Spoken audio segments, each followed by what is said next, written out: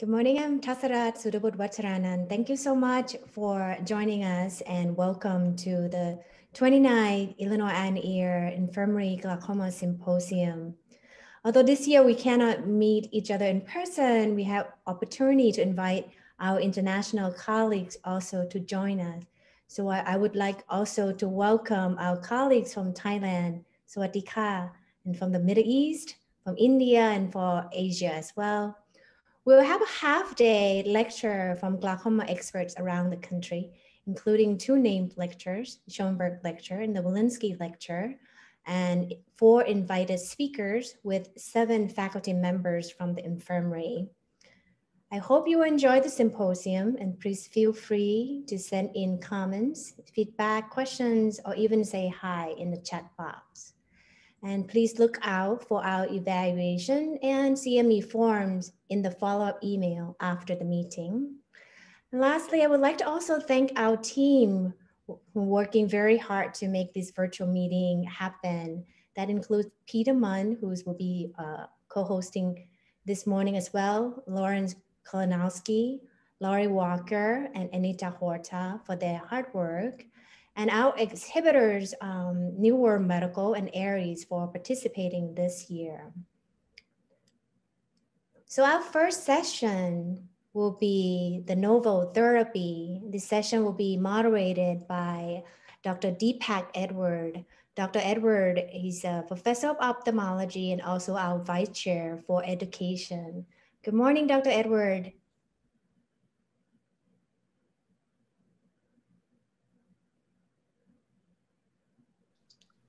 Because I got to unmute myself. Good morning and thank you. So I'm excited to moderate this first session on novel therapy. And without much ado, I'd like to introduce our first speaker, Dr. Michael Henry.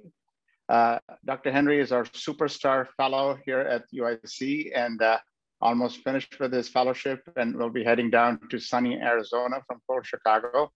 Uh, Mike, the floor is yours. Hello, my name is Mike Henry, and I am one of the current glaucoma fellows here at the Illinois Eye and Ear Infirmary. My talk today is titled Novel Medical Therapy From New Drugs to New Delivery System. I have no financial disclosures. Pharmaceuticals are the current cornerstone of glaucoma therapy. Although the LIGHT trial clearly demonstrated the effectiveness of first line SLT, topical ophthalmic agents remain the most common first line therapy. Eye drops are extremely effective and play a critical role in preventing glaucoma progression and future incisional surgery. Despite these benefits, patient compliance is lower than eye professionals think. One study using pharmacy claims data showed that patients filled prescriptions for topical prostaglandin analogs and had medication available for dosing only 37% of the days in a year. This non adherence has consequences. The collaborative initial glaucoma treatment study demonstrated a statistically and clinically significant association between medication at non adherence and glaucomatous vision loss. This poor compliance likely stems from cost, inconvenience, and toxic side effects from the medication. The prolonged use of eye drops preserved with benzalkonium chloride is a strong risk factor for ocular surface disease in patients with glaucoma. BAK's toxic, pro inflammatory, and detergent effects have been shown experimentally and can lead to irritation, dry eye, allergy, subconjunctival fibrosis, or increased risk of glaucoma surgery failure. BAK is found in consumer products such as hand sanitizers, wet wipes, mouthwashes, Lysol, and algicides. Reducing the overall preservative load may improve adherence, quality of life, and the patient doctor relationship. Allergan's bimatoprost implant, along with Glaukos' iDose and Ocular Therapeutix travoprost implant, have potential to improve adherence and reduce treatment burden in glaucoma. Bimatoprost SR, or Durysta, is an FDA approved intracameral implant that releases bimatoprost over time. The device is very easy to use. Here, I will outline the steps. Durysta is removed from the storage refrigerator and opened. We first inspect the applicator. We ensure the 28 gauge needle is not bent, that the actuator button is not pressed, and that the blue safety tab is in place. When we are ready to use the device, we remove the blue safety tab by pulling straight perpendicularly out from the applicator. Then we remove the safety cap. The applicator is held with the thumb on the back half of the actuator button and the middle finger supporting the opposite side of the applicator. The eye is prepped under standard aseptic conditions for intracameral procedures, and the patient is positioned at the slit lamp with or without a lid speculum. The 28 gauge needle enters the anterior chamber, and the actuator button is pressed. The implant then settles to the inferior angle. The implant is made of polymers that slowly release bimatoprost as it biodegrades through the process of hydrolysis into carbon dioxide and water. In vivo studies show that the implant releases a continuous dose of bimatoprost for 90 days. However, phase 1 and 2 studies showed that a single administration of Durysta lowered intraocular pressure for up to 1 year in 40% of patients and up to 2 years in 28% with no additional treatment. Phase 3 studies followed patients who underwent three consecutive injections spaced out by four months. The probability of not requiring additional IOP lowering treatment for one year after the final implant was 82.1%. The implant stops emitting drug at 90 days, and the drug is not detectable in the eye 120 days after injection. So, why and how are the effects of the medication sustained up to one or even two years. Long term treatment with topical bimatoprost has been shown to cause changes in morphology in the ciliary body and trabecular meshwork consistent with the formation of new outflow channels and enhanced outflow. The hypothesis is that the targeted delivery and higher concentrations of bimatoprost achieved in outflow tissues with Durysta compared with topical dosing cause greater upregulation of matrix metalloproteinase activity in the target tissues and more durable tissue remodeling, resulting in sustained IOP lowering. This long term tissue remodeling is probably one of the most exciting and intriguing aspects of the intracameral implant that came out of the Phase 3 Artemis study, and may one day truly be a game changer for our field. However, there was also some troubling data regarding endothelial cell loss that was also uncovered. In the phase 3 studies, patients were given three administrations of Durysta at fixed 16 week intervals. The incidence of 20% corneal endothelial cell density loss was 10.2%. Additionally, 3 out of 396 implant treated subjects had a greater than 2 line best corrected visual acuity loss at their last visit. There were no such events in the phase 1 and 2 trials where the majority of patients received one implant, and time in between readministration and those who received two implants was much longer. Nevertheless, as a result of these corneal endothelial cell loss data in the phase 3 trial, reinjection of Durysta is currently off label, and it is not recommended in those with compromised corneal endothelium. If I were to describe my May 2021 view of Durysta, I would say it is similar to femtosecond laser assisted cataract surgery.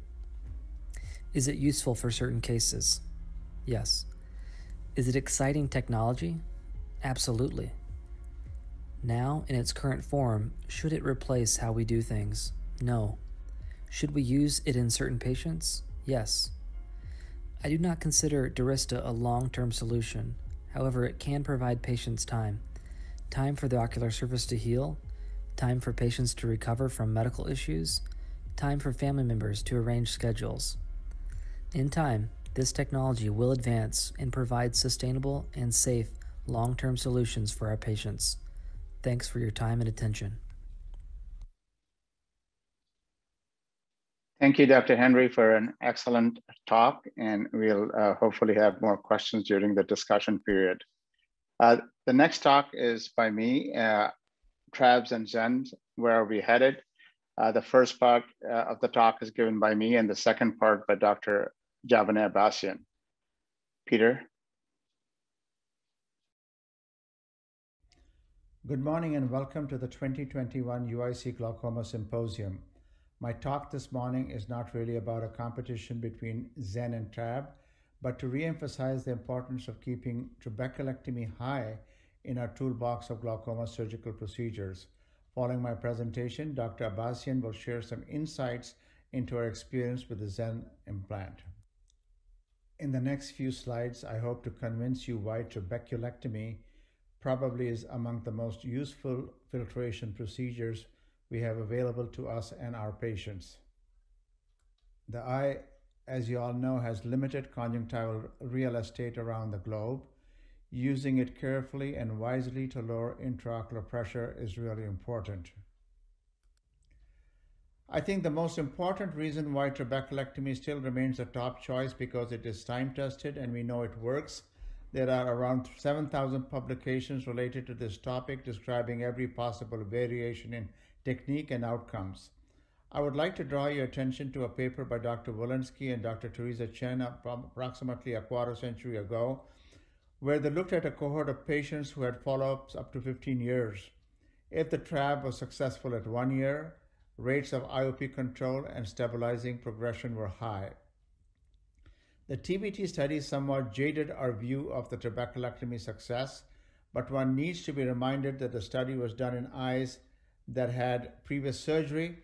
The more recent tube versus trabeculectomy study at three years showed that the success rates were the same. Intraocular pressure lowering was lower in the TRAB group and complication rates were similar. A more recent study from Europe uh, using Baervelds versus trabeculectomy came to the same conclusion. Over the last decade, several improvements have been made in surgical technique and interventions to prevent complications and failure of trabeculectomy. Careful case selection, tissue hardening, and fibrosis control have improved outcomes. For example, intraoperative injection of mitomycin C or application of it with pledgets over a large area have resulted in more diffuse bleb and reduction in bleb leaks careful handling of tissue and understanding tissue planes at the limbus have resulted in better closure. Careful construction of the scleral flap has improved posterior aqueous outflow and tight and complete closure of the conjunctiva at the limbus has reduced incidences of bleb leaks. I would encourage all of you to read this paper by Peng Khaw that describes the Moorfields safer trabeculectomy surgery system, which describes several nuances in the technique of trabeculectomy that has improved the success rate of trabeculectomies at the Moorfields Eye Hospital. Trabeculectomy is a cost-effective procedure that needs simple instruments and sutures and is device-free. As healthcare costs rise, it may be one day difficult to justify the use of additional devices to control intraocular pressure without strong evidence of the benefit of the device. There are, of course, several arguments that have been raised and some of them justified against trabeculectomy. Some of these are that there is a steep learning curve, post-op care is difficult, and there is a long list of complication rates both early and late. However, there is enough evidence in the literature and solutions offered to mitigate many of these concerns, showing that overall long-term success rates with trabeculectomy are superior. The XEN gelatin stent is the relatively new kid on the block, which is a tube of collagen-derived gelatin cross-linked with glutaldehyde. Its dimensions are given here, and it helps with controlled drainage of aqueous into the subconjunctival space. We are still learning indication, insertion techniques, intraoperative and postoperative management, and there are studies that are appearing in the literature describing the outcomes of this procedure. Before I end my talk, I would like to highlight the UIC connection to the ZEN implant. Dao Yu is professor of ophthalmology at the University of Western Australia and the co-inventor of the XEN implant. He was an ophthalmic pathology fellow with Dr. Mark Tso between 1989 and 1991. I have recently had some interesting conversations with him on how one could potentially improve the success rate of XEN implants, but that is a story for another day. Now over to Dr. Abbasian, who will share our experiences with XEN. Thank you very much for your attention. Thank you, Dr. Edward, and thank you to the program committee for inviting me to give this talk. I'm going to speak to you today about the Jesse Brown VA experience in using the XEN gel stent over trabeculectomy in finite cases. I have no financial disclosures. We're going to start with the case of AR, who is a 51-year-old African-American male with a history of severe POAG in both eyes. The patient has a history of an Ahmed tube shunt in the superior temporal quadrant of the left eye, He's NLP in the right eye and 20/60 with eccentric fixation in the left. His intraocular pressure is 22 millimeters of mercury in the left eye on max topicals including Rhopressa and Diamox 1 gram per day. His visual field is a 10-2 involving central fixation. So here we have a monocular patient with a history of a superior temporal Ahmed tube shunt in which we elected to do a superior nasal XEN we placed it with uh, 60 micrograms of subconjunctival mitomycin C at the time of the procedure. On post-op day one, the IOP was 8. He was only on Diamox and we started aggressive steroids. But by post-op week 7, his intraocular pressure rose to 22. At that time, he was off Diamox and all antihypotensive medications. And at the slit lamp, his uh, IOP lowered to approximately 10 with digital pressure. So we decided to sign him up for a needling with mitomycin C the subsequent week in the minor OR. Here you can visualize his XEN gel stent uh, in the superior nasal quadrant there. The tube is easily seen and it is straight and not kinked. Um, there's a low-lying bleb there to be seen and the tube is very small in the AC, um, not visualized here. And here he is post-op week two after the needling. He has um, a very flat bleb, and on digital pressure, there's no um, elevation, and the pressure did not lower. He started at 18. At this point, the next step for us is to fracture the distal aspect of the XEN, thinking that that aspect is probably occluded. So here are some pearls from our learning curve at the Jesse Brown VA. First is regarding patient selection. We prefer to think about this in monocular patients who would have difficulty with the post-op course of a trabeculectomy. That also goes for those with, with poor social support and the inability to commit to both the vigorous eye drop regimen and also the uh, number of post-op visits often required for trabeculectomy. We choose it in patients in need of a quick recovery and also those that have had a DSEK and have uh, low endothelial cell counts. And those that have had a prior tube shunt, likely in the superior temporal quadrant, but that have naive superior or superior nasal conj available. As far as intra-op pearls, we almost exclusively use the ab externo approach despite having previously used the ab interno. In African American patients, we do a peritomy and a possible tenonectomy if the patient has exuberant tenons. Our needle of choice is a 27 gauge needle, which allows some peritubular flow around the XEN. We also use mitomycin C sponges, but most often use intraconjunctival mitomycin C, approximately 45 to 60 micrograms total. And one last pearl for intra-op is to check the tube placement in the AC during closure as it can still move despite being hydrated by the BSS. We find that we're still babysitting the healing process here. We've decided also to needle the patients with mitomycin C prior to starting any antihypotensive drops. And ideally at that time you can see the XEN and assess the ab externo aspect prior to the needling. One important exam finding that will help you with the needling is the response to digital pressure. If the IOP falls with digital pressure, assume that there is flow through the XEN. At that point, you can needle the ring of steel adjacent to the XEN and above and below to ensure that it is free. If the IOP does not fall with digital pressure, that is likely due to a distal occlusion. At this point, you can either fracture the XEN or YAG the internal ostium to reestablish flow. We have found in our hands that late needling is not very successful as compared to trabeculectomies. This is likely due to exuberant scarring in many of our patients.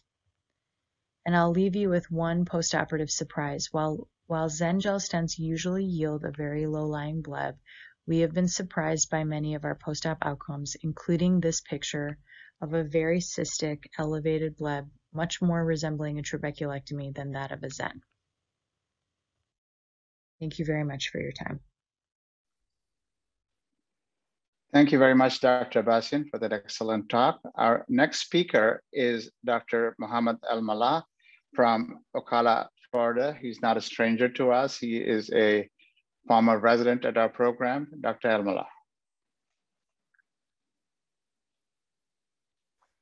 Hi, I've been asked to speak to you today about MIGS, minimally invasive glaucoma surgeries, which procedure is best for my patient.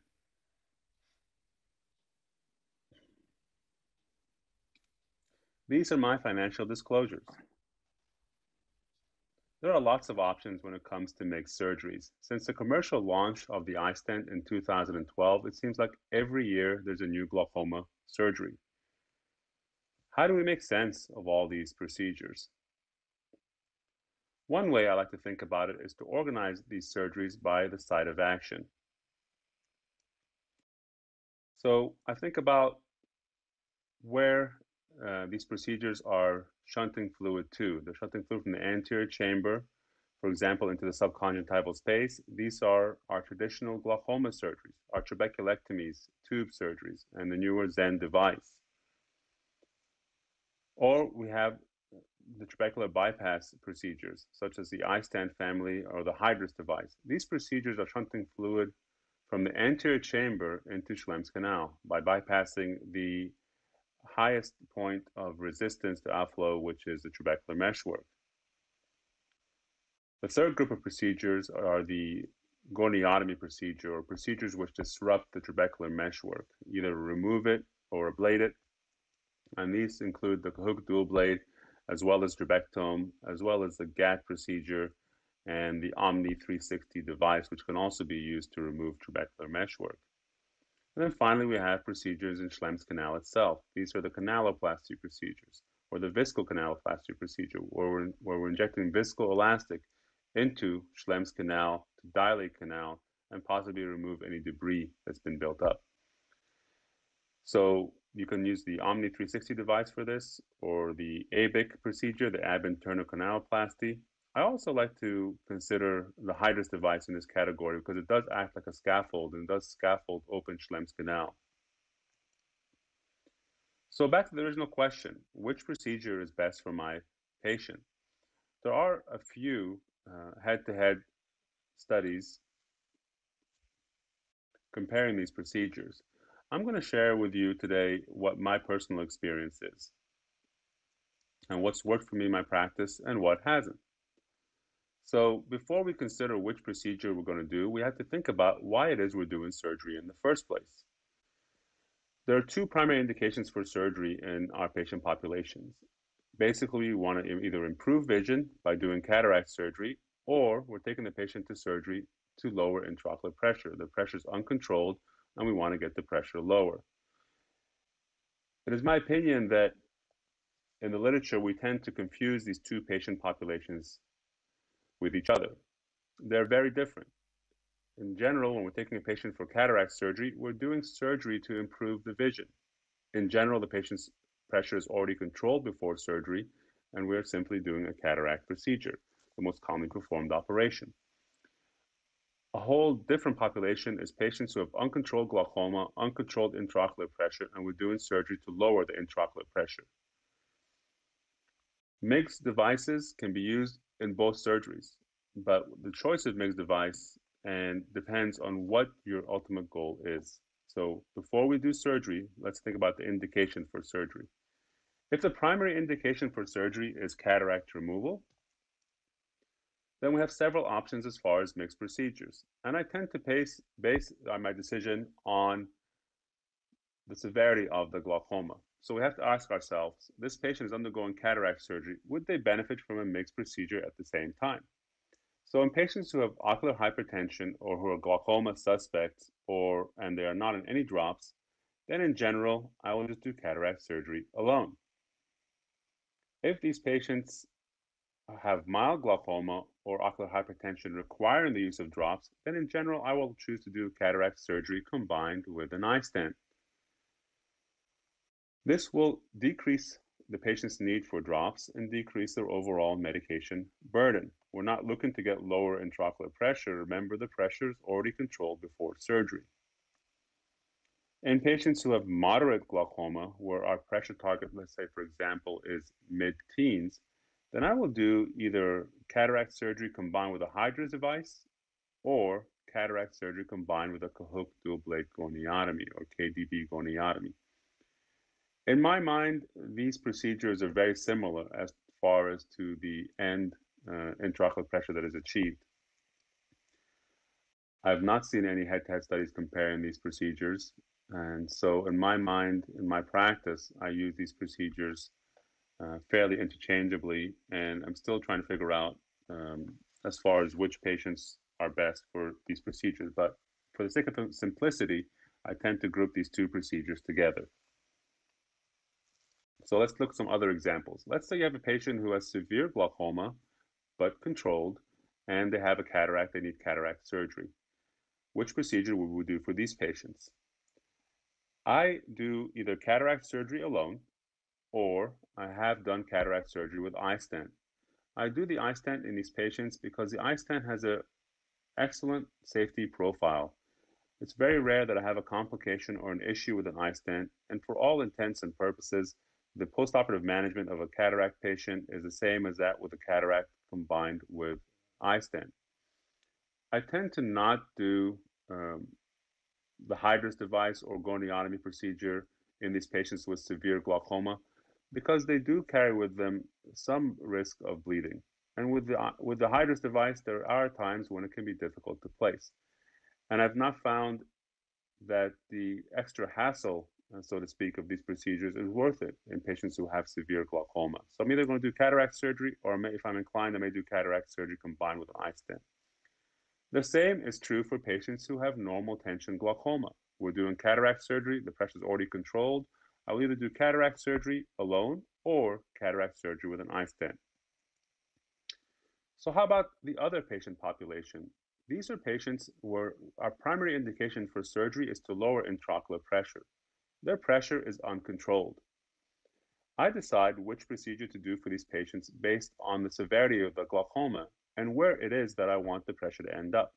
So if my pressure target is low teens, a patient with advanced glaucoma, then I'm either going to do a trabeculectomy or a tube surgery, or perhaps we can do a XEN device.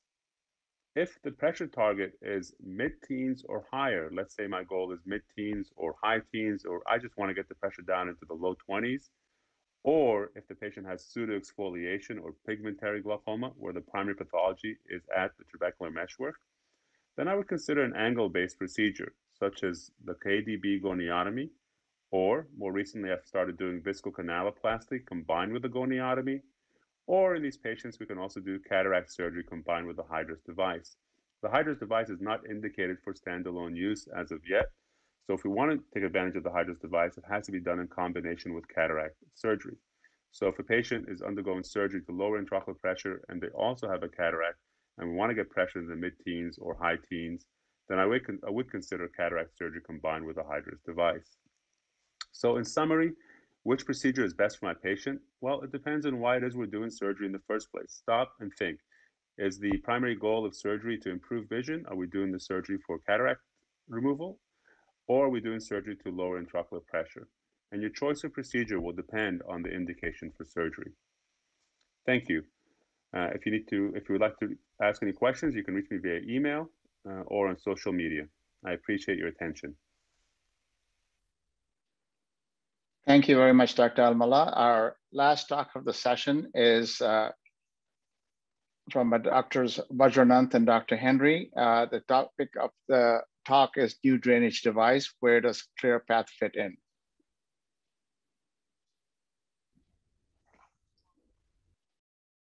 Good morning. This is an exciting time for surgical management of glaucoma as now we have many options. In this presentation, I will discuss a new glaucoma drainage implant, ClearPath. I do not have any conflict of interest. Recent innovation allow us to target treatment by different mechanism, including improving trabecular outflow, accessing suprachoroidal space, reducing aqueous production by lasers, and to uh, bypass aqueous humor from anterior chamber to subconjunctival space. Although minimally invasive glaucoma surgeries or MIGS has gained popularity due to safety profiles, the conventional filtering surgeries such as trabeculectomy and tube surgery remain an important and reliable means to achieve a lower target pressure. To decide whether uh, ClearPath fits into our current practice pattern, we will review unmet needs in surgical management, how ClearPath compared to others device, and our experience at UIC. Dr. Steve Gedde discussed three unmet needs in surgical glaucoma management. First is the safety efficacy trade-off. We need a procedure that offer efficacy of trab and tube with safety profile of MIGS. Second, a need for a titratable glaucoma procedure. Patients respond differently uh, to the same glaucoma procedure because they have different healing responses. An ability to selectively increase or decrease aqueous filtration based on the post-op pressure level would be a very beneficial feature of uh, a glaucoma procedure. And last is the cost. We need to minimize the cost of the procedure and also the cost of post-operative care. The two commonly used and commonly studied uh, glaucoma draining devices are Ahmed FP7 and Baerveldt 350. Uh, has a valve function, is a folded silastic membrane that opens at a certain pressure level. Baerveldt um, on the other hand, is a non-valve uh, implant. So we ligate the device when used. And the other different feature is the size. Uh, Ahmed fits between the two rectus muscles and Baerveldt, we need to place it underneath the muscles. In practice, I consider four factors when selecting implants. If an immediate pressure control or if I anticipate hypersecretion or hypotony, I choose uh, Ahmed. I choose Ahmed or Baerveldt 250 for smaller orbits. Uh, in general, a larger implant such as Baerveldt 350 achieves a lower target pressure. Now let's review our evidence regarding safety and efficacy the best evidence would be a pooled data analysis from two largest randomized trials, ABC and AVB. The pooled data of 514 eyes showed that the Baerveldt group had a lower failure rate, lower uh, rate of de novo glaucoma surgery, and lower means IOP on fewer medications than Ahmed. However, Baerveldt carried a higher risk of uh, hypotony complications. Ahmed ClearPath come with two sizes, 250 and 350. The implants uh, came preloaded with four all Prolene ripcord. Unlike others, ClearPath 250 is a true single quadrant device that fit between the muscles, eliminating the need to isolate them.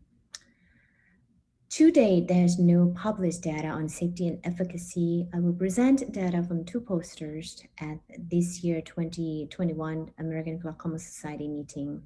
This is a large and multi-center retrospective analysis of clinical outcome of Ahmed ClearPath um, that presented by Dr. Davender. The study is sponsored by New World Medical.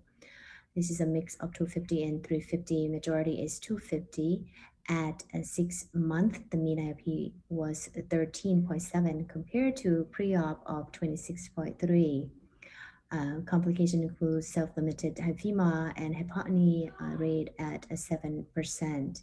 The other study is from investigators from the Wills Eyes Hospital. This is a smaller series. Um, here, uh, comparing the four devices 350, 250 uh, and a 250 and 350 ClearPath at six months show mean IOP lower in ClearPath group, in fact, uh, a lower uh, but a higher rate of hypotony and no difference in terms of IOP reduction based on sizes. Our experience at UIC, we started implanting ClearPath last summer and we'll be analyzing our data once we have it adequate uh, follow-up time. This year was a pleasure um, working with uh, our glaucoma fellow, Dr. Michael Henry, one of the best surgeons I uh, ever worked with. Um, here is his video showing a small incision Ahmed ClearPath 250. This technique was originally developed by Dr. Paul Singh. Show here is um, Dr. Henry opened the conjunctiva 4 millimeter from the limbus and also 4 millimeter in length. Then a dissecting, undermining conjunctiva make a, a good relaxing pocket. Then as you can see, he's cauterized. Um, then with the ClearPath, uh, the plate is, is quite flexible so you can actually fold uh, the device like taco and then insert it into this small uh, incision. Then we proceed as like other uh, implant. This slide shows bleb profiles from four different devices, Ahmed Baerveldt 350, Ahmed ClearPath 250 and 350. All these eyes have very comparable pressure of uh, single digit or low teen. You can see the low lying showing uh, from the uh, ClearPath compared to others. This is the uh, ClearPath 250 and 350 from two eyes from one uh, same patient showing a low pressure, low profile of the bleb, and with the um, diffuse a pocket of fluid around the bleb or the device um, showing on the ultrasound. The bottom line is the safety efficacy trade-off, the ClearPath uh, 250 had comparable uh, pressure reduction and uh, safety compared to other devices and also other uh, and also ClearPath 350.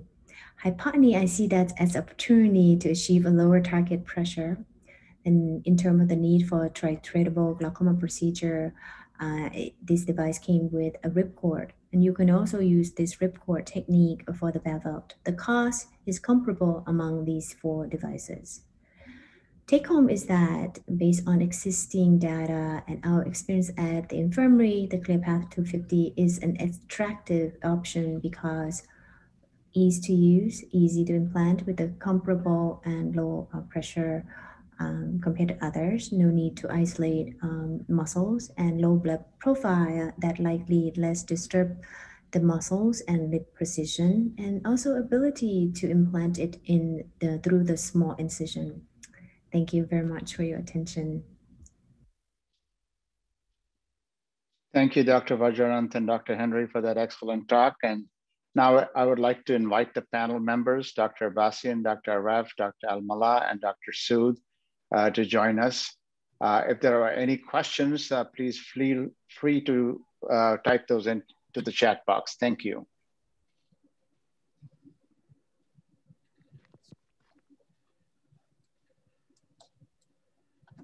So I have a question for Dr. Henry.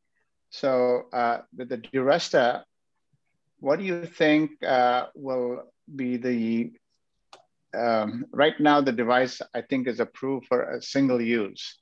And uh, what do you think would happen in the future in terms of uh, it being allowed for multiple uses and what would be the interval between the injections? Well, Dr. Aref or Dr. Henry? Go ahead, Dr. Aref, whatever you think. Um, you know, it, it's tricky. It's, uh, you know, the labeling, I think for the, F, the FDA labeling for the device, I think is a little disappointing. You know, uh, when the device was under investigation, we were all imagining and hoping for a replacement to topical therapy, which, you know, for most patients with chronic disease is not going to be the case uh, because of the endothelial cell loss issue. Uh, we've dealt with this before with the CyPass.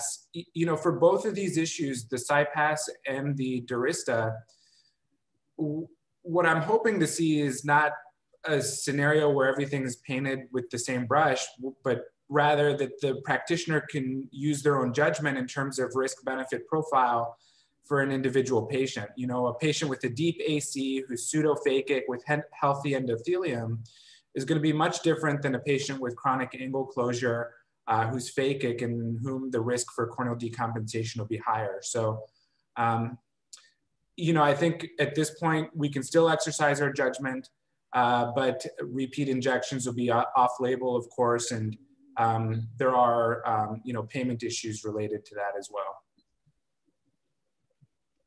Thank you. So there are uh, two questions in the chat box. Uh, first from Dr. Uh, Mohan, and uh, the question is uh, that in your own practices, what is the ratio of trabeculectomy versus tubes that you're electing to perform in your adult patients with open angle glaucoma? Anybody want to take that? Uh, I would actually say so. I'm uh, tending to do more tubes than uh, trabs, but I'd advocate for um, the ab interno XEN. I've really enjoyed good success with the ab interno approach. Um, I've also started using Marlene Moster's technique of um, marking the XEN before inserting it, and that allows great visualization. Uh, I tend to have a lower threshold now for doing a combined phaco XEN on my patients because I have quite a few one week out. I'm almost, the postoperative care is very similar to my phacos in some cases where I'm seeing them one day, one week, and then I'm seeing them, you know, two weeks later. Um, it's, it, and it looks like a really nice bleb. I increased the amount of mitomycin C that I'd previously been using. And uh, so if anything, I'm actually migrating to doing more phaco XENs than um, even phaco trabs at this point. Thank you. We have another question from Dr. Joel Sugar on how mobile is the Durysta in the anterior chamber? Dr. Aref or anybody else who yeah, has I been think, using uh, it? Oh, go ahead, Mohammed. Hi. hi. Um, the Durysta is very mobile in the anterior chamber.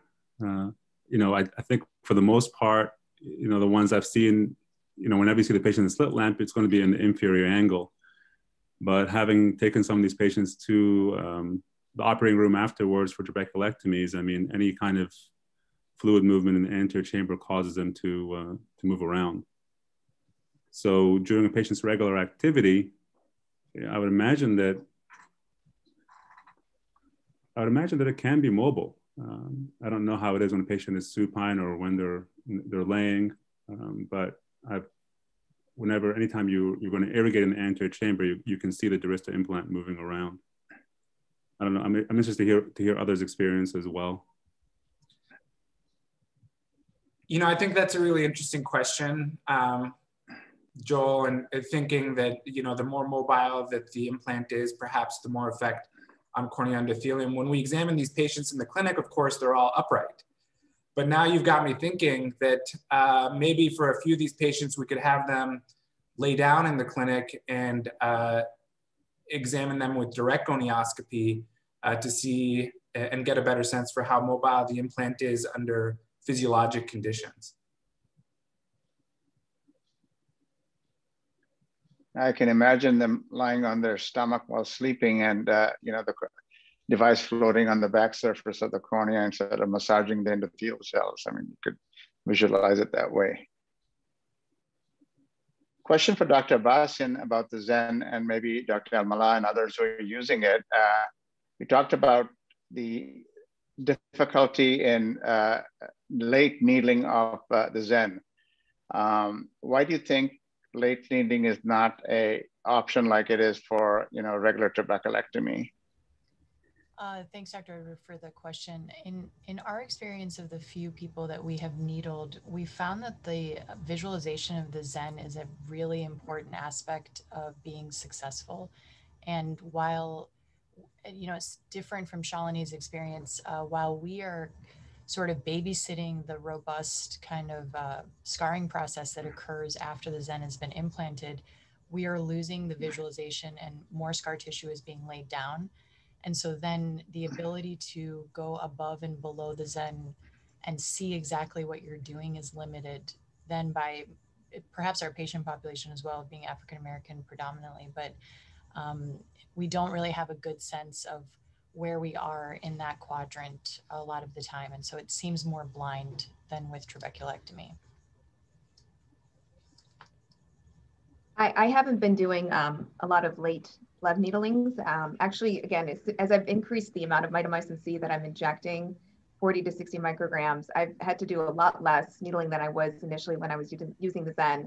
Um, I also do kind of like a mini needling right at the end. So after I've inserted the XEN, um, at the end, I'll go in with my, my needle injecting the MMC and then going above and below the XEN right there um, intraoperatively. And um, like I said, because I can visualize it really well with the marking now, um, I can see it and, and feel really comfortable doing that. Well, thank you all for your comments and for your insight. Uh, it was a great session, and I'll uh, put the session back to Dr. Vajaranant to uh, introduce our keynote speakers. Thank you again.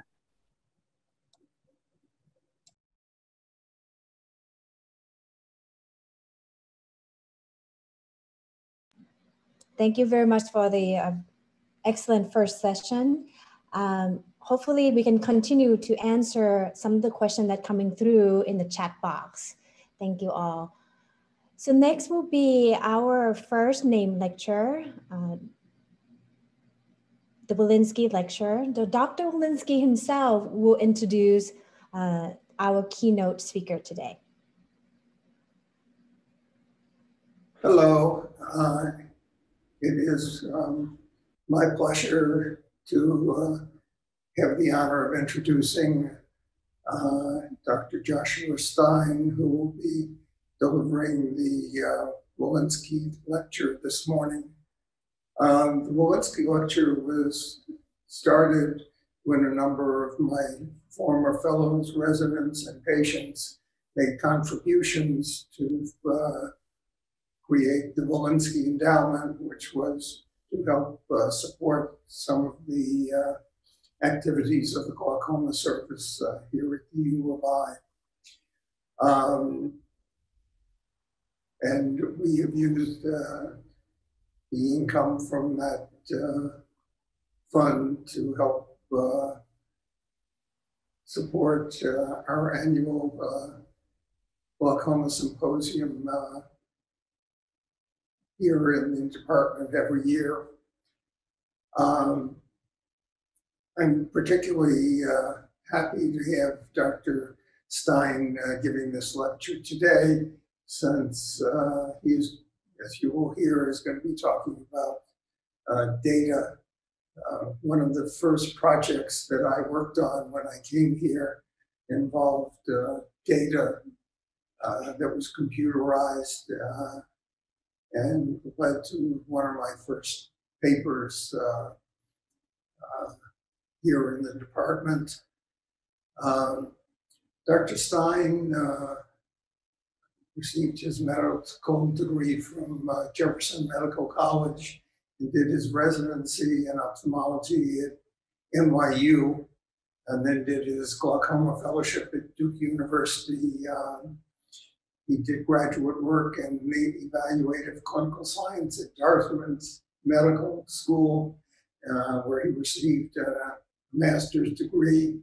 Uh, he later did additional graduate studies in healthcare research at the University of Michigan and got a second uh, master's degree. Uh, he then uh, pursued a fellowship in health policy at the University of Michigan. Uh, he is now the Edward T. and Ellen K. Dryer uh, Career development professor in ophthalmology and visual sciences at the University of Michigan Kellogg Eye Center. Um, his clinical interests include the evaluation and management of adults with glaucoma, medical, laser, and surgical treatment of patients with glaucoma, including glaucoma, uh, filtering surgery, and uh, glaucoma drainage implant surgery. He also focuses on health services research, uh, patterns of eye care in the United States, outcomes of glaucoma surgery, and the quality of life of patients with ocular disorders. His lecture today is The Future of Big Data in Ophthalmology. Uh, Dr. Stein, we're delighted to have you here today. Thank you.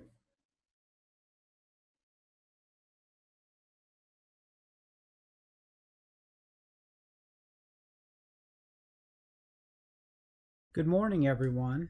Thank you very much, Thasarat, for such a wonderful introduction and for inviting me to participate in this glaucoma symposium. Before I get started, I just want to say what an incredible honor it is to give a name lecture after Dr. Wilensky. If one were to stop and think about it, Over the course of his illustrious career, Dr. Wilensky played a pivotal role in nearly every medical and surgical intervention for glaucoma that we have in our armamentarium. To think about the number of patients whose sight have been preserved from the care Dr. Wilensky has provided them, all the residents and fellows who've benefited from working with and learning from him, and from his innovative research, we can all aspire to have such an impactful career as Dr. Wilensky has had, and I'm very grateful to give a talk in his honor. For this talk, I have no financial disclosures. It's an exciting time in healthcare and ophthalmology. There are several key puzzle pieces that are coming together to really enable researchers to take advantage of big data. The first key puzzle piece to permit us to take advantage of big data is digitization of personal data, whether it's the transition from paper to electronic health records, the proliferation of all these cool smart technologies that help us uh, keep track of the temperature we like to set our thermostat to, or the types of music we like to listen to, or all these apps that let us keep track of our likes and dislikes, or watches like Fitbits that measure our physical activity, or sophisticated tools like OCT that can capture in exquisite detail the structures in the front or the back of our eye, to sophisticated techniques that permit us to sequence the entire human genome of all of our patients. The second key puzzle piece is the advances in computing power. With all this data that we're capturing, we need to be able to process it. In 2015, there were computers that could surpass the brain power of a mouse. By 2023, we'll have computers that will surpass the brain power of a human. And in many of our lifetimes, we'll have computers that are equivalent to all human brains combined. Something really scary. The third key puzzle piece is advances in data storage. In the 1980s, it cost $100,000 to store a gigabyte of data and now it costs just a few cents to store all this data we're capturing. And then finally, there are lots of folks who are really experienced and know how to work with this data, whether it's to use it for telemedicine, for disease management, for data analytics, genetics research, drug discovery, and all, sort, all sorts of other areas. There are also some challenges associated with working with big data. The first is information overload. The amount of data generated in two days is as much as all data generated in all of human history before the year 2003. And with all this data that's out there, how do we know what to do with it? What data is important and what data is not? Or how do we distinguish the signal from the noise? Another issue with big data is big data is messy. It's estimated 80% of world's healthcare data is unstructured. By unstructured, I mean in free text format. And while one could simply choose to ignore these paragraphs and paragraphs of data that we see in free text format, there's really a lot of useful information. And the challenge for us as researchers is to figure out ways to sophisticated sophisticated ways to grab the key information. And that requires using tools like natural language processing to find the key details from this free text. There are also additional challenges. For example, the location of all this data is stored in different places. The data can be stored in different formats.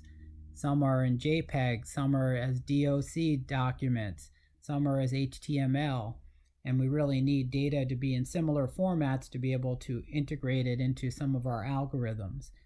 There are issues with different definitions for different fields of data we're trying to capture, issues with the structure of the data, the complexity of the data, and then certainly issues related to regulations and requirements, being able to share the data in ways that are secure and HIPAA compliant. There are also challenges for those of us who are clinicians. There's just simply not enough hours in the day for us to process all the data that's out there. It's estimated that less than five hours a month are spent by clinicians reading medical journals, yet researchers have estimated it takes 21.7 hours a day to keep up with all the patient care guidelines. And for those of us who value sleep, that's just not physically possible. There are over 30,000 active clinical trials and over 23 million articles in PubMed. How do we keep track of all the information that we're uh, gathering on our patients? Another issue with big data is that one can come up with these sophisticated algorithms using AI or machine learning to crunch numbers and to come up with insights. But if that data, if that those insights are stuck on a computer in a basement lab and not readily available to clinicians to help at the point of care with decision making, it really limits their use utility. Finally, we need to keep in mind that the clinical information captured in our electronic health records is really just a small fraction of what's going on with a patient and all the factors that may affect their health. One needs to really expand and consider genomic factors, environmental factors, social determinants of health, the environment where one lives in. All these factors really gives us a better sense of the factors affecting the health of our patient.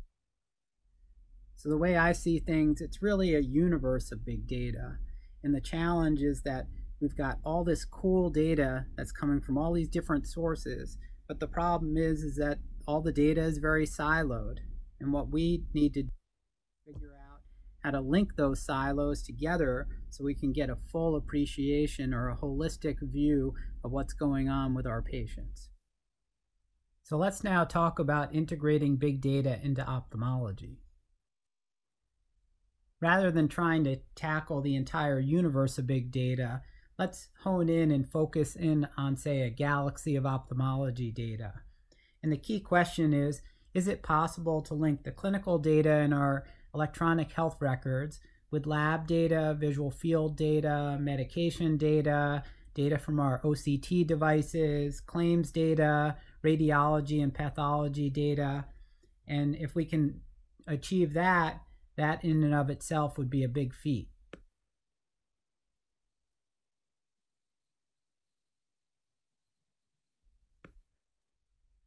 So I'm pleased to tell you about the Sight Outcomes Research Collaborative, or SOURCE Ophthalmology Electronic Health Record Repository.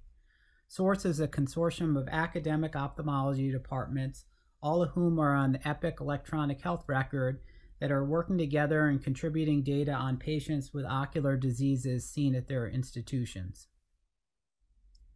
We've tapped into the back end of EPIC and have methodically figured out ways to grab all the relevant data that could be useful for research and quality improvement, including patient demographics, structured data from clinic visits like visual acuity and eye pressures, billing and administrative data, patient reported outcome data. That's something that uh, we routinely collect on our patients at Michigan.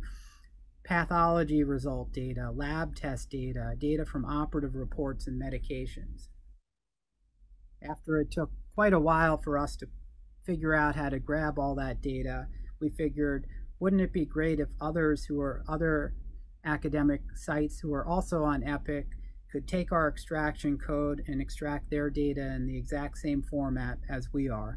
And we've been sharing our code with various other sites and working with them to pull their data. We have this software that's able to remove all the protected health information. The data can be safely and securely sent to the, the data hub at the University of Michigan where it gets clean, harmonized, linked up with ocular imaging and diagnostic test data, perhaps in the future get linked up to genomic data, and then the pool of aggregate data made readily available to researchers at any site that's contributing their data to use for research and quality improvement projects. There are presently more than two dozen academic centers throughout the country that are at different stages of joining SOURCE.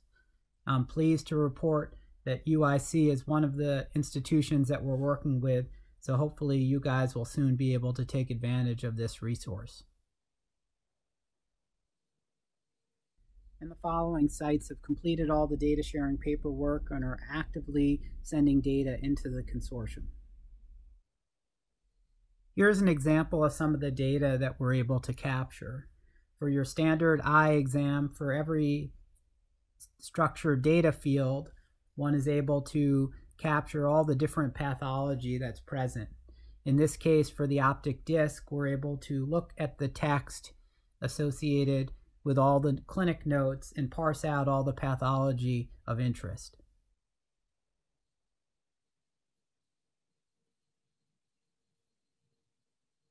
Terms of surgical data, we have information on the type of anesthesia, eye laterality, the location where the surgery took place, how long the surgery took, preoperative and postoperative diagnoses, up to five CPT codes per surgery, all the implants and supplies used, medications, as well as information from operative reports.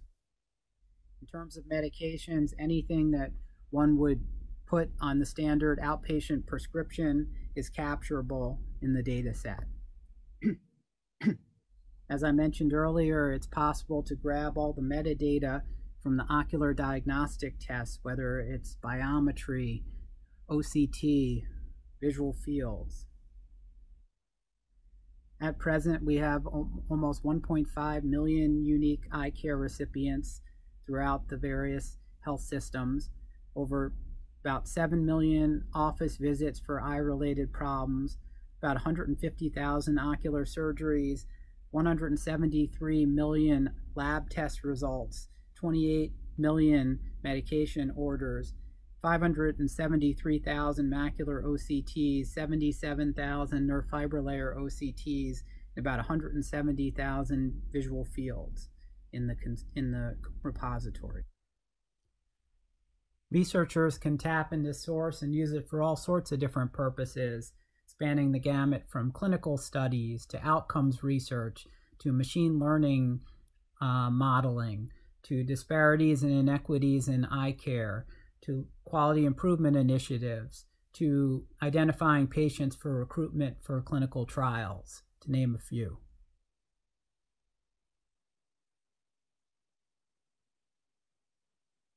I'm going to spend the rest of my talk highlighting three studies that my colleagues and I have used source data for. The first of these is tapping into source for what I call enhanced phenotype identification. If you think about it, for researchers to really take advantage of big data, it's really important to accurately identify and classify diseases or phenotypes of interest. When, while, while one would think that this should be easy, if you think about how researchers, myself included, have tapped into this, whether it's using claims data, IRIS registry data, we're always relying exclusively on ICD 9 and ICD 10 billing codes to identify diseases of interest. And while the use of billing codes has certainly been helpful in identifying conditions of interest, there are issues. For example, some ocular conditions just simply lack billing codes. There are issues with miscoding, upcoding, downcoding, insufficient coding. And then in 2015, when there was a transition from the use of ICD 9 to ICD 10 codes, there was an explosion of codes from 14,000 to almost 70,000 codes. I kid you not, here are some conditions that show up in the code book.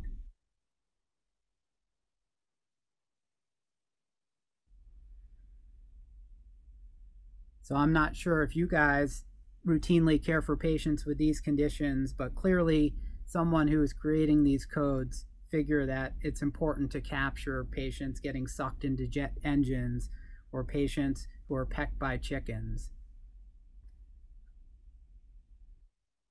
even if one were to focus on a more common condition like diabetic retinopathy, if one tries to code that properly, if you look in the code book, there's actually 18 separate codes for this one condition alone. And as a glaucoma specialist, if I'm trying to take care of a patient with this condition, I'm not dilating them, the chances that I'm going to get the right code is about 1 in 18. So while there are clearly advantages of using ICD-10 codes over ICD-9 codes in terms of better capture of eye laterality, more granular capture of certain diseases, assuming they're coded properly, and documentation of disease severity for selected conditions, I believe we really need to move beyond billing codes if we really want to take advantage of this big data. So here I'm going to present a novel approach that researchers can use to identify ocular conditions of interest using electronic health record data. This is a glaucoma conference. I want to focus on a condition that's near and dear to many of us, exfoliation or pseudoexfoliation syndrome, the most common secondary type of open angle glaucoma. We're all familiar with this condition and it has these characteristic findings on slit lamp exam. If one looks to see how other researchers have tried to identify patients with this condition using big data sets like claims data. This is a study my colleagues and I published a few years ago. You could see all we were able to do were look at the billing codes. So with electronic health records, we can certainly continue to look at billing codes. For every condition and every patient we see, it's impossible, at least at my institution, to close the chart without selecting at least one billing code for a given encounter.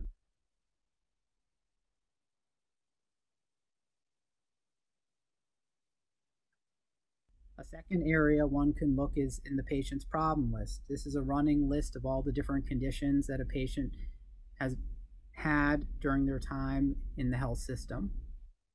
A third area is in the quote unquote smart data fields. And for this particular condition, the parts of the eye exam that are most relevant are the iris and lens exam. And then finally, one can look throughout all the other areas or the, of the free text or the unstructured data, in this case in the assessment and plan or maybe the HPI section for evidence of the condition. Now it gets a little tricky when it gets to the unstructured data because one can document this condition many different ways. So you, we have to rely on tools like natural language processing. So with natural language processing or text parsing, one can search all the different areas of a clinic note and look for the different ways people can document this condition. For this particular condition, we identified 14 different ways that our colleagues documented this in the clinical exam. But we need to be sophisticated and not just look for mentions of the condition. We don't want to capture negative mentions like no record of the condition, or if it's being mentioned about a different type of patient, like exfoliation, perhaps in burn patients, or statements like family history of the condition when the patient themselves don't doesn't have the condition. So we put together this list of all the different areas in the electronic health record where one could try to get information on whether a patient has a condition. And our question was which of these parameters or groups of parameters best predict which patients actually have exfoliation syndrome. I then recruited four of my colleagues who are all glaucoma specialists and asked each expert to review 50 randomly assigned charts, some with and without the condition, to come up with a gold standard of which charts represent patients with the condition. We then use this method called lasso regression, where our dependent variable was definite evidence of the condition as judged by our experts. We put all these independent variables into our model, and we found these five areas best predicted who had actually had exfoliation syndrome. Percent of visits where it was documented in the iris exam, the lens exam, iris transillumination defects, the problem list, and the natural and the free text. Interestingly, the billing codes were not the most important factor. This model, we were able to apply it to all the patients. At the time we did this, there were 122,000, and gave each patient a score from 0 to 100% of their likelihood that they had the condition. Not surprisingly, most patients had very have very low probability but we could identify 353 patients with a 90% probability and 83 with a greater than 99% predicted probability. We then went back to the glaucoma specialists and validated our algorithm and found it had a positive predictive value of 95.5% and a negative predictive value of 100%. So it seems like it's working very well, at least in our population.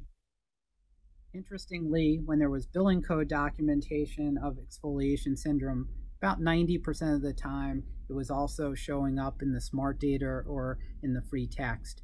But the converse wasn't true.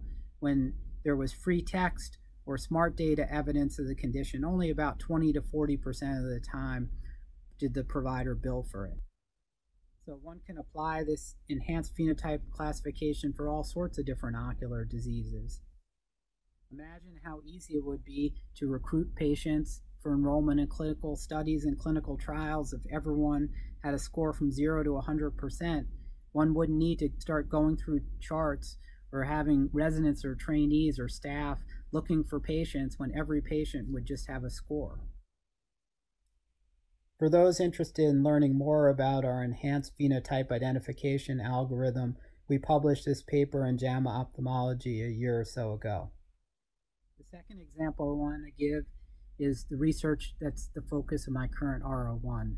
That's taking information from resources like SOURCE and using a technique called Kalman filtering to generate personalized, real-time, dynamically updated forecasts of glaucoma and personalized target IOP menus. So what is Kalman filtering? It's a forecasting and noise reduction technique that's useful for modeling complex large systems. It was used by NASA to fly Apollo up to the moon and it's routinely used in commercial aviation. And researchers have been using it in other areas of medicine, including glaucoma care. It combines a population based understanding of disease evolution with individual patient characteristics to forecast future values of key clinical parameters. So, how do Kalman filters work? Well, picture we want we have a spaceship and we want to get from the Earth up to the moon. What are some factors affecting the future locations of the spaceship? We could look at prior flights using similar spaceships, earlier coordinates from the same spaceship, and the more past observations, the better our predictions information like the type of spaceship, the wind speed, and measurement error. So if we were to apply this analogy to glaucoma, we've got a patient's baseline level of, say, mean deviation, pattern standard deviation, and intraocular pressure. We want to know what their, these values are going to be five years into the future. While prior flights from similar spaceships are akin to glaucoma progression dynamics from similar patients, such as those in, in clinical trials like AGIS, CIGTS, OHTS, Earlier coordinates from the same spaceship are past measurements from that patient. The type of spaceship includes characteristics like the patient's age, sex, race, genetic predisposition. Wind speed is like patient adherence, and measurement errors are variability in measuring these various parameters. Example of a patient in the CIGTS study, the first few visits, the Kalman filter learns how that patient's behaving. We also, it also has a population information from all the other patients in that trial.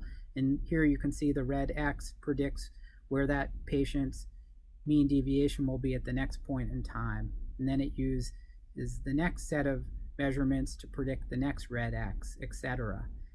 Here the blue triangles are predicting what's going to happen over the next several years for that particular patient.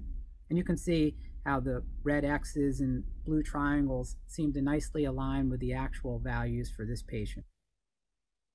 Here's another patient. This is a patient, patient from AGIS who is actually getting worse over time. And again, you could see the red X's and blue triangles seem to nicely align with the observed values for this patient.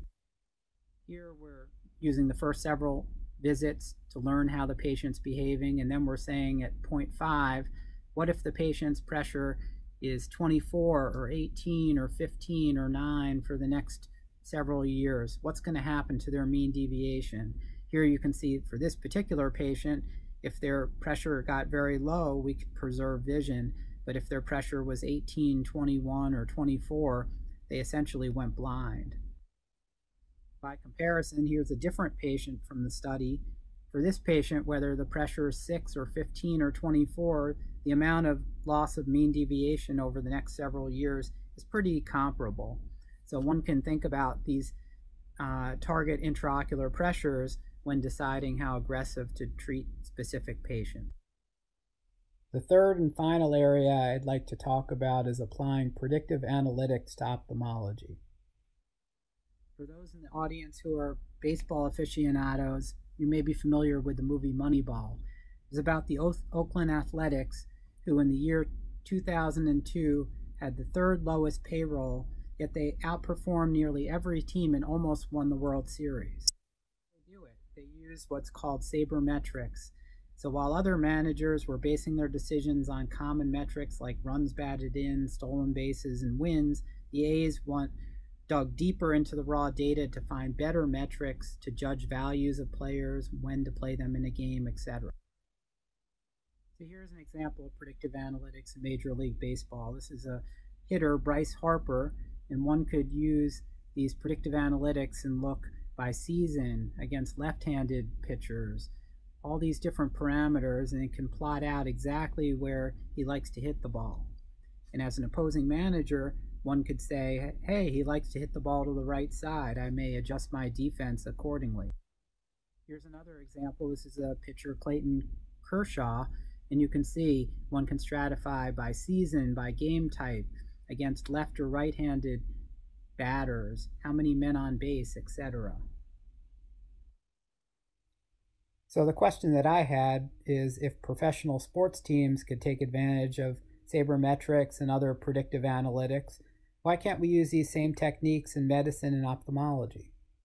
Here's an example of predictive analytics dashboard for SOURCE. We're looking at reduction in intraocular pressure after laser trabeculoplasty. You've got the pre-op and the post-op IOP, and every dot represents a particular patient. One can stratify by preoperative diagnosis, by how much of the angle treated, who did the treatment, patient race, etc. Wouldn't it be awesome if you can pull up on your Epic screen and show, hey, I've got a 63 year old white male with exfoliation glaucoma that I'm thinking about recommending laser trabeculoplasty and pull up all the dots of patients who've undergone that procedure who had the similar profile to be able to show to him his chances of having a very good outcome or a less successful outcome. Likewise, from a research standpoint, one could say, what is the difference between all the patients in A who did so well from the laser versus those in B who really had no reduction or an increase in their IOP after the laser? In conclusion, digitization of personal data and advances in data linking, computer power, storage, and data analytics have really made it easier to take advantage of big data in ophthalmology. Repositories like SOURCE will provide researchers with access to much more granular clinical data than ever before so we can use it for research and quality improvement projects. Linking the electronic health record data with data from other sources will open the door for all sorts of exciting analyses. I believe collaboration across sites is key. There are definitely strength in numbers, especially with these machine learning and other AI types of studies. And we need to develop analytic approaches that are patient centric, that facilitate shared decision making, and can easily be integrated into our clinical practice settings. I'd like to take a second to recognize and acknowledge my colleagues at our Center for Eye Policy and Innovation as well as the generous funding support to help carry out this research. Finally, thank you again for inviting me to speak today, and I welcome any questions you may have.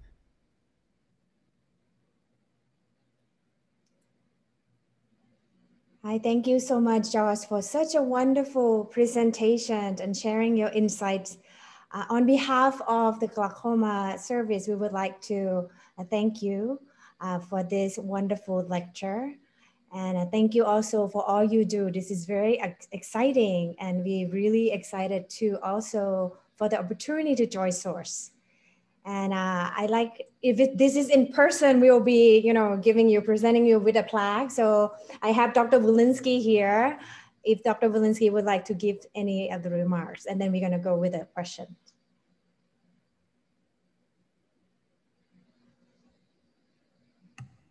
I've enjoyed this presentation. It's stimulated all sorts of thoughts.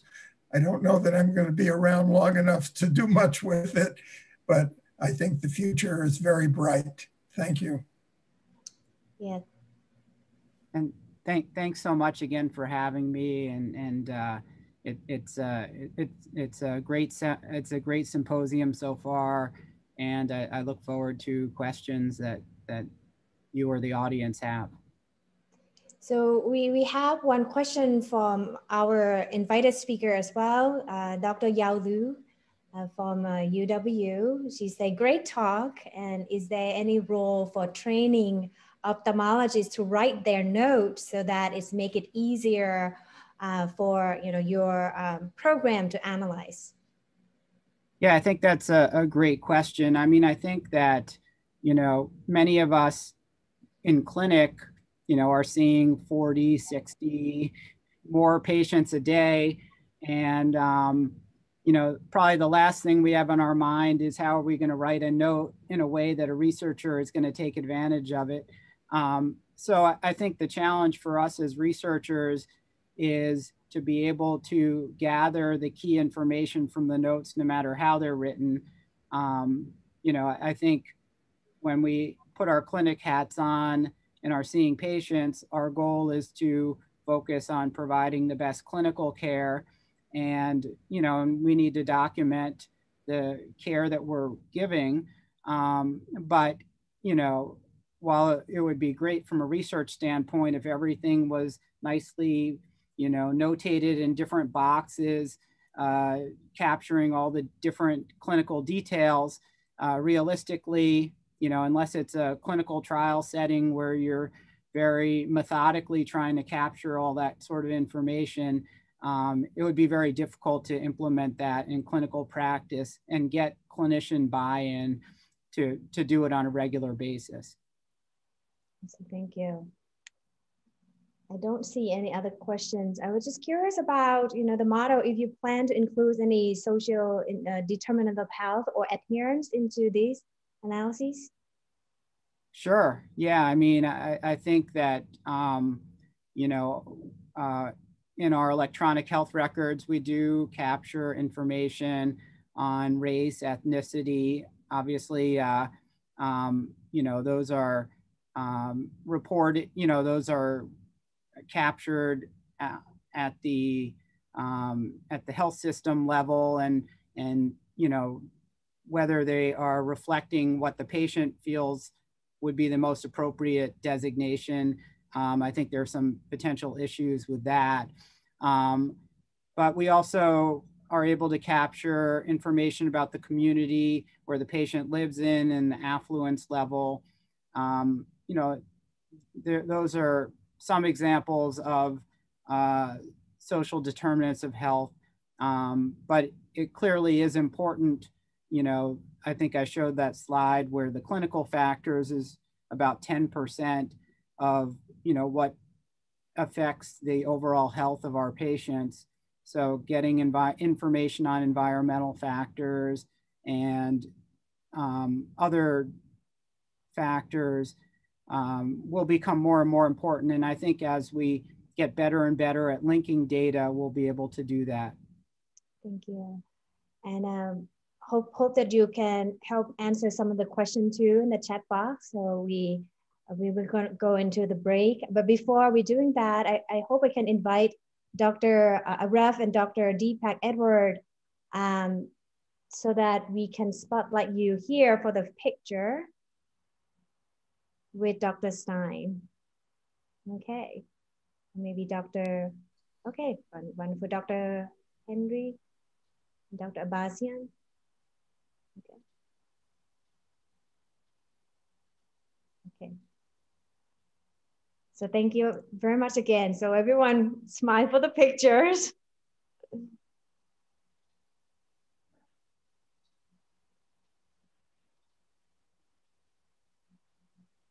Thank you. Thank you very much. And uh, next one will be a 10 minutes break and hope we can also continue our conversation in the chat box. Dr. Stein, uh, someone asked for your email address as well. So I think they would like to reach out to you. So welcome back. This is our uh, session two, novel diagnostics. This session will be led by Dr. Ahmad Aref. He's our vice chair for um, Clinical Affairs and also Director of Glaucoma Fellowship. Good morning, Ahmad.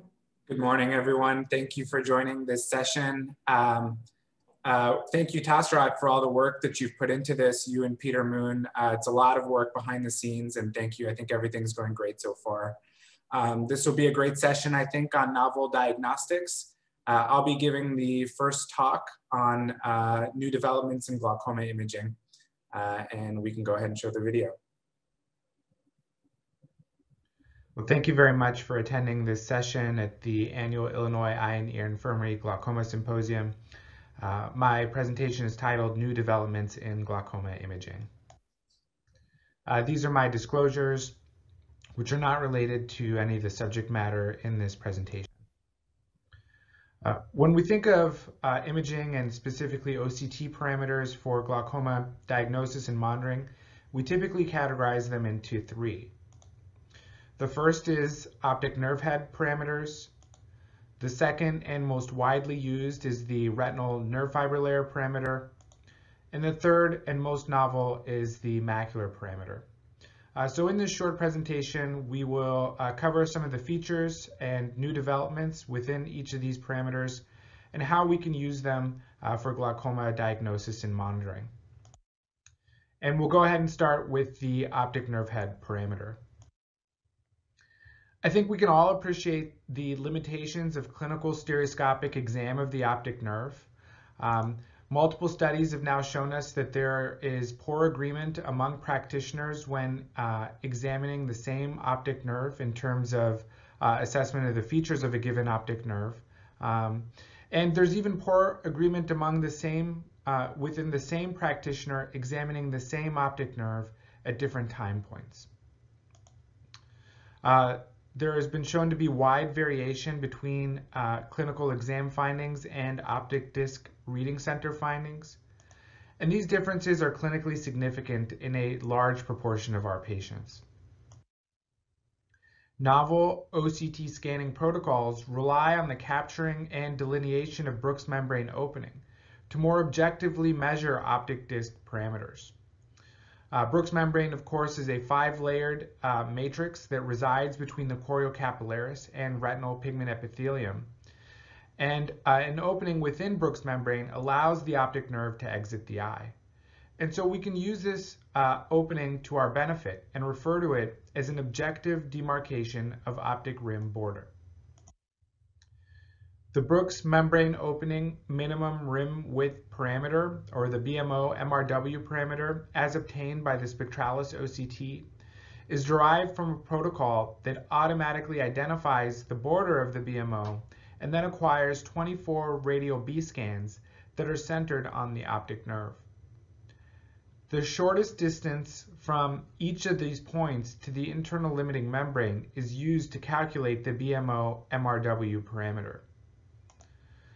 I think the total BMO area is especially useful when uh, assessing asymmetric disk size, and this information can be easily missed, but is located within the display of the optic nerve SLO image. Uh, this is a patient of mine that has supratemporal thinning of the neuroretinal rim that corresponds to an infranasal visual field defect. And the MRW map on the lower right hand side shows consistent depression in the supratemporal sector. Distance values as well as percentiles are compared to age-matched controls and are displayed within the map. Stagg and Medeiros performed an observational cohort study comparing diagnostic performance between BMO, MRW, and conventional retinal nerve fiber layer parameters. They found that overall, the global retinal nerve fiber layer thickness parameter outperformed global BMO MRW parameter with respect to diagnostic accuracy. Infratemporal uh, thickness was the highest performing BMO MRW parameter. An important strength of this study is that a diagnosis of preperimetric glaucoma was made on the basis of structural damage, which was detected in a longitudinal manner. The Cirrus HD OCT algorithm for measurement of neuroretinal rim thickness differs from that of the Spectralis device. Optic nerve head measurements with this device are derived from a standard cube of optic nerve and peripapillary signal data. And rather than measuring the shortest distance between Bruch's membrane opening and the internal limiting membrane, the Cirrus device calculates the smallest cross-sectional area among polygons that are generated from 180 disk margin points to corresponding points on the ILM. These measurements are used to plot neuroretinal rim thickness around the circumference of the optic nerve and also to calculate various other parameters that are displayed in a data table. Uh, our second uh, parameter that we'll cover is retinal nerve fiber layer. And uh, of course, with faster scanning rates uh, that are achieved with spectral domain OCT, uh, diagnostic accuracy for the various retinal nerve fiber layer parameters has been shown to be quite high. Studies on devices from different manufacturers are consistent in finding that the superior and inferior sectors and clock hours tend to give us highest diagnostic accuracy. Deviation maps are extracted from thickness maps and are color-coded to, to accentuate areas of thinning compared to age-matched controls. I find these deviation maps very helpful in day-to-day -day clinic to help differentiate retinal nerve fiber layer pattern loss from other causes of signal loss such as signal artifact or other retinal pathology. Deviation maps uh, from the Spectralis device are not yet available in the US, but should be in the near future. The most updated Spectralis device software allows the practitioner to choose from three different peripapillary circle scanning diameters. And this can be helpful in cases of peripapillary pathology such as myelinated nerve fiber layer. It is important to remember that although measurements among our various devices correlate strongly, they're not entirely compatible and should not be used interchangeably. Our last parameter that we'll cover is the macular parameter. Uh, since a significant proportion of the retinal ganglion cell population resides in the macula, structural glaucomatous deficit may also be detected and monitored in this region. The Spectralis GMPE posterior pole horizontal protocol is composed of 61 B scans that are centered on the fovea, uh, which correspond to 20 degrees of central visual field. Once this area is scanned, total macular, macular retinal nerve fiber layer, macular retinal ganglion cell layer, and or macular inner plexiform layer thicknesses may then be segmented and measured and displayed in an 8x8 grid that contains 65 individual cells for performance of symmetry analyses between eyes and also within the same eye. The Cirrus protocol segments the ganglion cell and inner plexiform layers and measures the thickness of these two layers within an elliptic annulus centered on the fovea. The area of the annulus is divided into six sections of average thickness data, which is compared to age-matched controls. Of the various parameters within uh, GC-IPL thickness, it's that minimum GCL-IPL thickness parameter that's been shown to have highest sensitivity and specificity. And lastly, it's important to note that as with optic nerve and retinal nerve fiber layer parameters, macular parameters that are measured with the Spectralis OCT and Cirrus OCT devices are not interchangeable. Uh, some key points um, regarding this discussion are that OCT-derived optic nerve head, retinal nerve fiber layer, and macular parameters all show high levels of diagnostic performance and reproducibility. Use of the BMO has standardized optic nerve head parameter measurement. And enhanced segmentation algorithms allow for isolation of macular layers that are most pertinent to glaucomatous damage. Again, it's important to remember that these measurements cannot be compared across different device manufacturers. Thank you very much.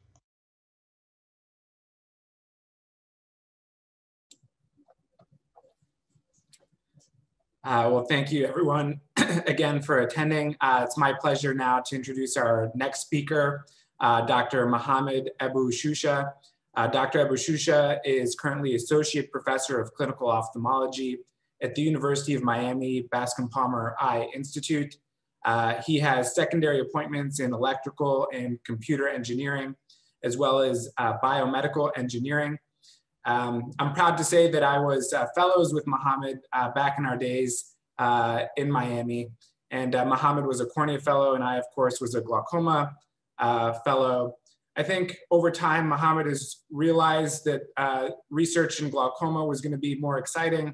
And so that's where he started to focus his efforts. he'll be giving a very exciting talk today, wearable AI-powered vision diagnostics and augmentation.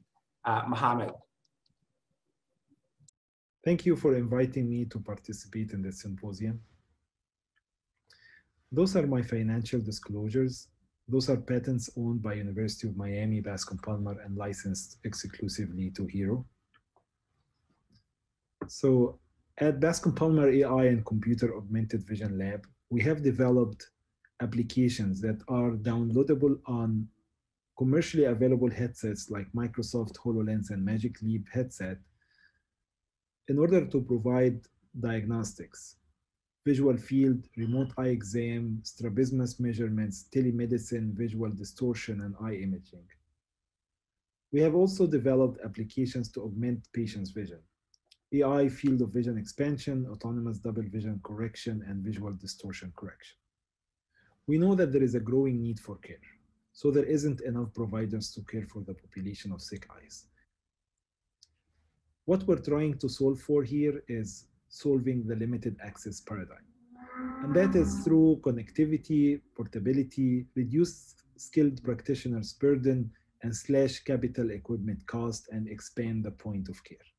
We do that through personalized vision care, artificial intelligence, personalized approachable diagnostics, and customized vision augmentations, and all in a wearable device. So wearable diagnostics make a lot of sense. Today, over 8 million visual fields are done annually. There is increasing population worldwide, too many patients and not enough providers. The status quo is inefficient, expensive, and bulky equipment that limits the number of exams per day. What we're developing here is a wearable technology, very small, lightweight devices that provide improved disease management and reduce the cost to payers and optimize patient satisfaction. A platform and a wearable device that the aim of it is to improve the quality of life of patients using vision augmentation and to improve the diagnostics to make it more accurate and enjoyable and more objective in a wearable small device with no capital equipment cost and being portable that can lead to extending the point of care to retail stores to home. And we use connectivity. Right now we live in a world where everything is connected. So patients will be connected to the cloud and providers connected to the same cloud with EMR integration, patient portal integration, and efficient workflow. And that will lead to extending the point of care from the specialized clinic to the optometrist, to general practitioners, to retail stores, to testing centers, and to the patient home. And then closing the loop, diagnosis leading to augmentation. So the status quo for treatment of very common eye diseases like glaucoma, strokes, macular degeneration is to prevent further damage. What we're trying to do here is to improve patients' quality of life, improve their functionality and their independence. So now I'm going to shift gears to talk about the clinical validations that we have done at Bascom Palmer in order to validate this platform. So we have 590 subjects enrolled in different studies, and we did validation for different parts of the platform. So the idea here, the concept is measure, personalize, and augment. So our very first study was trying to assess the value of that device. So we measured, and our device showed that it's equivalent to the Humphrey visual field. And then we personalize and augmenting the vision. So as you can see here, this is the visual field test. And then this is a test image. This is what the patient would be seeing before the remapping. And this is actually what the patient is going to be seeing after remapping. And the patient is able to see more of their environment and be more functional. Same here. So this is a visual field effect of a patient with a stroke. If the patient is looking at this picture here, the patient is not able to see that cup of tea. However, after augmentation, the patient is able to see a more complete picture of what he's trying to look at. and we have shown that 78% could identify safety hazards with the D-specs or our glasses that they could not previously. And the next level was a study to assess the efficacy of D-specs to improve mobility of patients with peripheral visual field loss. And we published that in the American Journal of Ophthalmology. So we measure the visual field and personalize vision augmentation by relocating and resizing the video signal to fit within the remaining visual field in real time. And we have evaluated the benefit of that in a dynamic walking simulation. So this is the first step. We measure the visual field using the device. And then we personalize and augment the vision and test that in a walking simulation. We recruited 20 patients and we have shown that 90% of the patients that were included could identify peripheral objects in the test images with our glasses that they could not previously. Then the next level was evaluating a see-through augmented reality digital spectacles for improving the mobility of patients with peripheral visual field effects when tested on a walking track. And we custom built this, those glasses using eye tracker augmented reality headsets connected to a portable computer. This study was published in PLOS One. So again, we measure and then we augment and personalize the vision. We assess the performance of the patients in a standardized walking track. So what we found is that the performance of patients in the walking track judged by the objective detection score improved with our glasses with an average improvement rate of about 20%. The initial studies that we have done, we used a geometrical method that would fit what the patient is trying to look at into their intact visual field. But we knew that there is a better way of doing it, which is employing machine learning framework. And this is what we've done. Visual field testing, and then the visual field goes to a cloud-hosted AI system that will spit out enhanced personalized vision correction uh, parameters to the Heru application in order to improve patients' vision. We used a generalized regression neural network and we implemented uh, it in the cloud where as you can see here, this would be the normal vision of a patient and this is the defective uh, vision of a patient with severe visual field defect.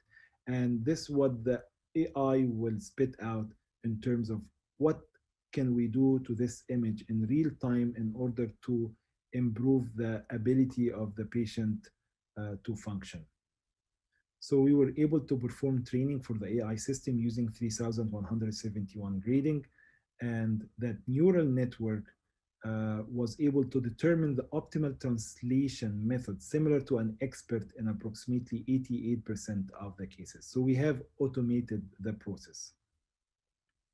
In another study, we wanted to compare the visual field that we obtain using our application, which is cloud-based AI-powered software application downloadable on commercially available augmented reality headsets with the Humphrey Field Analyzer.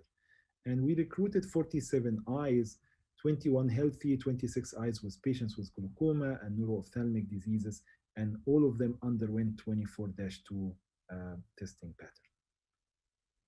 So we have shown that there is a strong correlation between Heru visual field mean deviation and the Humphrey Field Analyzer mean deviation, same for the threshold values.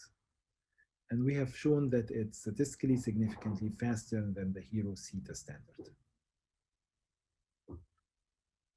In another study, we actually compared the visual field measurement using Heru software cloud application downloadable on Microsoft HoloLens 2 headset to the Humphrey Visual Field Analyzer. And we recruited 40 eyes and all patients went um, through a 24-2 testing. And we showed strong correlation again between the Heru visual field as an application downloadable on the HoloLens Microsoft headset to the Humphrey visual field. And we showed that strong correlation in mean deviation and threshold values with excellent reproducibility. In another study, we actually compared the performance of our app downloaded on two different commercially available headsets to the Humphrey visual field. And we recruited 81 eyes to do this study. And we have again shown strong correlation between Heru visual field mean deviation and that of the Humphrey, same at the threshold values with excellent reproducibility. Thank you so much for allowing me to present today. Thank you for inviting. Uh, thank you very much, Mohammed, for that uh, fascinating presentation. Look forward to your comments in the discussion portion. Next, uh, I'm happy to introduce uh, my colleague, uh, Dr. Joelle uh, Hallak. Um, Joelle is Assistant Professor of Ophthalmology and Visual Sciences. She is co-executive director of the Artificial Intelligence Ophthalmology Center and she's director of the Ophthalmic Data Science uh, Laboratory. Uh, today, uh, Dr. Hallak will be presenting learning algorithms for glaucoma detection. Joelle, thank you. Hello, everyone. First, I would like to thank Dr. Vajaranant for organizing this great symposium and inviting me to present. My talk today is titled Learning Algorithms for Glaucoma Detection. I have no related financial disclosures.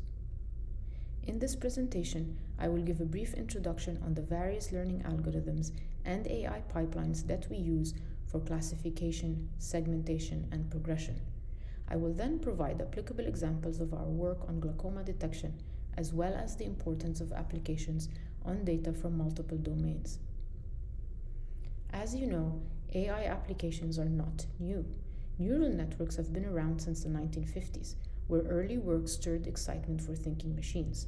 Machine learning became prominent in the 1980s, and currently the main reason for this new AI wave is due to the advancements in our computation capabilities, where we are able to implement deep learning methods with promising results. This slide shows the differences between classic machine learning models and deep learning ones. In traditional machine learning systems, Images are classified from hand engineered biomarkers using methods such as regression models, SVM, or random forests. Whereas deep learning models are learning to extract biomarkers and classify directly from inputs. An AI system today can be solely based on deep learning methods or a combination of machine and deep learning algorithms as shown in this slide. A main focus in our laboratory, for example, is the extraction of quantitative imaging biomarkers using hand engineered methods or deep learning methods. Following extraction, we determine which biomarkers are related to disease prognosis.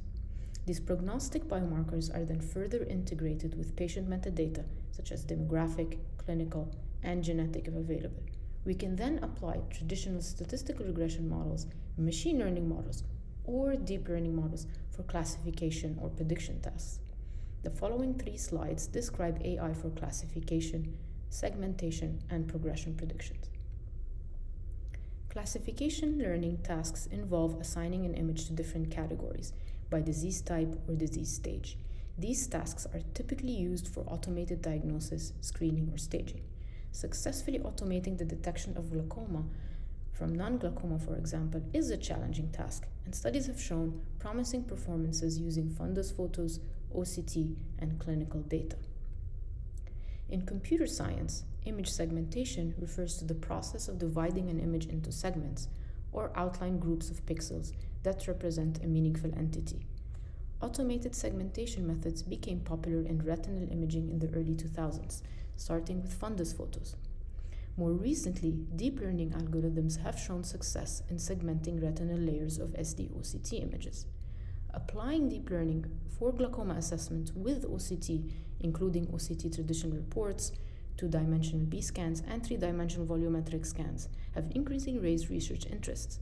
Studies have demonstrated that using deep learning for interpreting OCT may be more efficient, accurate, and are showing good performance results for discriminating glaucomatous eyes from normal eyes. Similar to classification scenarios, AI can be applied to predict different attributes, disease progression, or treatment response from longitudinal imaging and clinical data. For example, we can have a system that can be developed to predict the progression from glaucoma suspect to glaucoma using structural and functional features. The slide shows example studies investigating the retinal nerve fiber layer features identified by unsupervised machine learning on SDOCT, and another study that investigated visual progression. These algorithms may allow for tailored management protocols for patients depending on their risk profile. Each of the learning tasks described have pros and cons.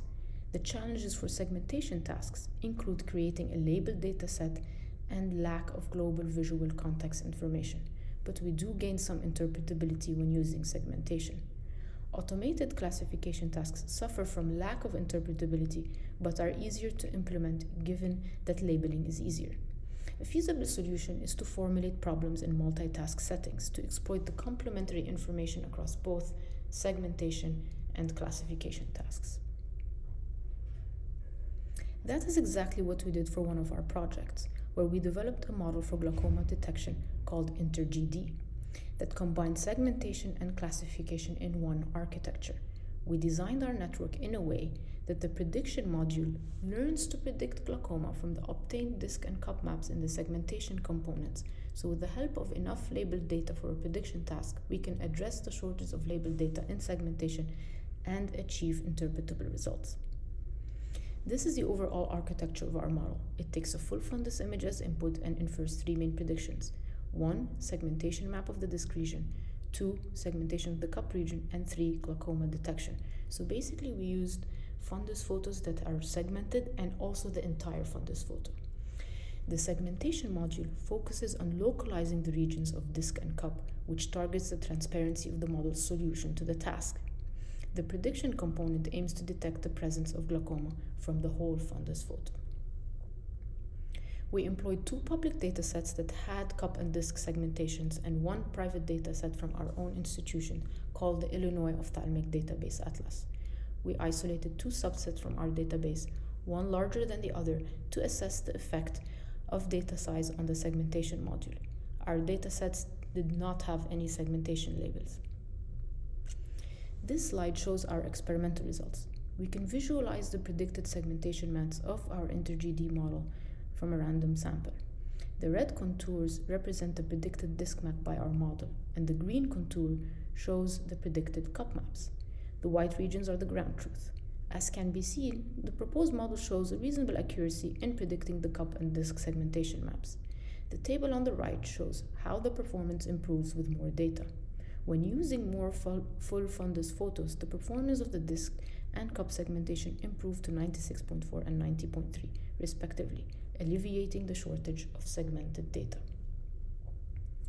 With our InterGD model, we were able to develop a unified framework integrating segmentation and classification tasks, achieve clinical interpretability, alleviate the short, shortage of segmented label data, and use full fundus photos. As you know, a great challenge in all AI systems that are being developed is their applicability and translation to clinical settings. Data from real world clinical settings vary in quality, settings, and machine types, and existing deep learning approaches rely heavily on the availability of standardized data.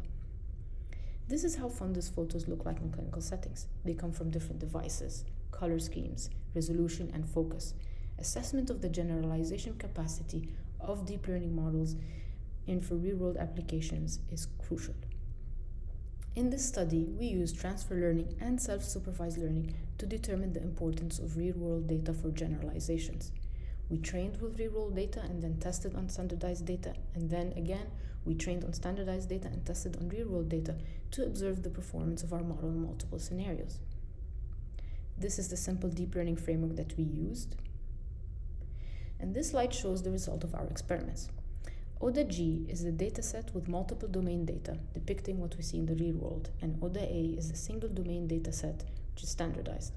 As shown, when we train the model using a multi-domain dataset and evaluate it on a smaller and more unique dataset, we achieve better results than if we only train the model on one small unique dataset and then evaluate on an extremely complex real-world dataset. The overall results validate the crucial role of real-world data for generalizing to clinical settings. If the network trains on small unique datasets, it fails to generalize to other domains. Hence, we need complex, diverse datasets that capture aspects of real-world data to cope with generalizations to other domains, especially in clinical settings. To conclude, deep learning is an exciting method that holds great promise for glaucoma detection. Deep learning models have consistently been shown to detect and quantify glaucomatous damage using simple color fundus photographs, opening the potential for low cost screening tests for the disease. In addition, deep learning has been shown to improve assessment of damage on SD-OCT images and visual field data, which could improve the use of these tests in clinical practice. Systems that combine structure and function and time series segmentation are of great interest. It is very important to note that no matter how exciting AI technologies can be, validation is needed with rigorous methodology and particular attention to the different settings where the systems will be applied in practice. This is especially true for a disease such as glaucoma, where no litmus test exists for diagnosis or detection of change over time. I would like to thank Dr. Vajaranant for this great symposium, the leadership of the department and the College of Medicine for their support, and the team at the Artificial Intelligence and Ophthalmology Center and the Ophthalmic Data Science Laboratory. Thank you. Uh, well, thank you again uh, to our speakers, and uh, we can go ahead and get started with the uh, panel discussion. Uh, for the audience members, please feel free to post uh, any questions or comments into the chat box, and we will address as many as we can in the next few minutes. Um, Joelle, I think that was a, a great overview of AI and the work that you're doing, of course, is very exciting. you touched on training of AI algorithms, and I'm curious, you know, from a practical standpoint, uh, when looking at developing an AI algorithm, what does the training component uh, look like? What does it consist of uh, practically? So it usually depends on the task at hand. So if you were going to do um, a classification task or segmentation task or prediction progression, um, segmentation is is very very valuable because if you train an algorithm to you know teach it where to look at. And uh, it requires a lot of labeling from uh, physicians, and that's one of the limitations. So if you were to have a fundus photo or in you know a 2D OCT, and you were to outline the RNFL, so that outlining you kind of have to teach it where to look at. But once you teach it where to look at, it will be able to make more accurate kind of prediction, and you know what it's looking at. So the interpretability is there, similar with fundus photos. So labeling is a very, very important kind of task. It's very um, kind of um, you know challenging to do given that it's a little time consuming. But we are developing methods in order to do uh, train a model with a less amount of data. Um, there's you know like like as I mentioned, uh, classification via segmentation, and also um, you know sometimes there are methods where you put in the entire uh, photo, say it's a fundus photo, but there are back propagation methods like saliency maps where you can look back and see where it looked at. Um, but I think uh, the, for training data, the biggest things are the quality of the data, the labeling, and the task at hand. Thank you very much. And, and is the training uh, for an algorithm done over a finite period of time, or is it something that needs to be uh, continuous uh, as the algorithm is used? Absolutely continuous because um, these algorithms have to always learn. So in a new setting, in a new, especially for evaluation and when you want to deploy them for clinical practice, you can train an algorithm to, if it looks at one type of data set, but then you put it in another environment, it may not lead accurate results because it hasn't seen that type of data.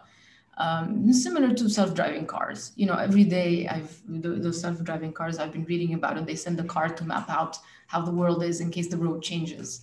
So every time also for, for medical imaging, there's a big movement now in order to apply some of the methods that they use in self-driving cars.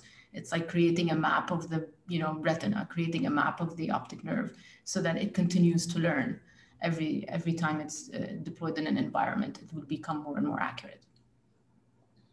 Thank you very much, Joelle.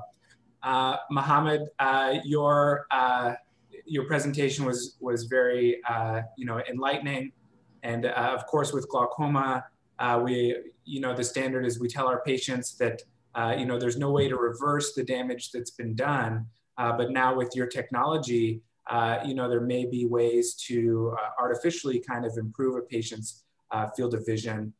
We do have a question from Dr. Santi in the audience regarding cost uh, of these devices. And maybe you can also comment on some of the regulatory hurdles in approval of these exciting wearable technologies. Uh, thank you so much for, for inviting me to present today. It's just such an honor. And, uh, um, you know, the aim here is democratizing healthcare for us and uh, democratizing healthcare by bringing the cost uh, down and making this affordable for everybody. And um, we have this, uh, you know, vision, uh, and we did use commercially available headsets. So, uh, you know, our device is, is actually an application that is downloadable on, on commercially available hardware that is very affordable and that slashes uh, down the price of, of the device and the capital equipment. So, uh, and allow us to provide this as a very affordable um, subscription model that is comparable to a cell phone uh, subscription. So it is going to be around uh, 180 to 250 dollars per month for the patient and in some cases actually without even having uh, any, any setup fee or upfront fee. And we've been developing this technology at, at Bascom Palmer for the last five years. And then we came to a point where we saw that, you know, there is like really uh, great uh, results that we're getting, very promising. And that is when uh, Bascom Palmer uh, decided to spin out Heru as, as a startup company that is part owned by University of Miami and Bascom Palmer in order to achieve that. Uh, thank you very much, um, uh, Mohammed. Uh, another question here. Uh, given the similarities in advanced glaucoma and other optic neuropathies, uh, are current AI algorithms able to differentiate between the two? Um, Joelle, maybe you can comment on that one. Yeah, I think it has to uh, again uh, with with if you have a, a labeled very well labeled initial data set that you're able to differentiate and segment part of and and say this is how an optic neuropathy is and this is how we haven't done this task yet. It's something that we got approached with as well to do, differentiate between glaucoma. It is challenging, but uh, I think for, for initially to develop something like that, having a very good labeled data set that says this is how an optic nerve for glaucoma looks like in advance, and this is how an optic neuropathy does. And then looking at other features, not just the optic nerve, if there are other kind of differentiating features that the physician can segment for us, that would be great. And if, you know, kind of it's challenging, we can, if we have a very good labeled data set, we can develop a deep learning algorithm and use backpropagation method to see if it highlights different aspects of that. Thank you. Uh, thank you so much, Joelle and Mohammed, for taking the time uh, to join us and educate us uh, today. Um, please, for the audience, feel free to uh, pose more questions in the chat box and we can answer offline. Uh, we'll now turn it over back to uh, Dr. Vajaranant.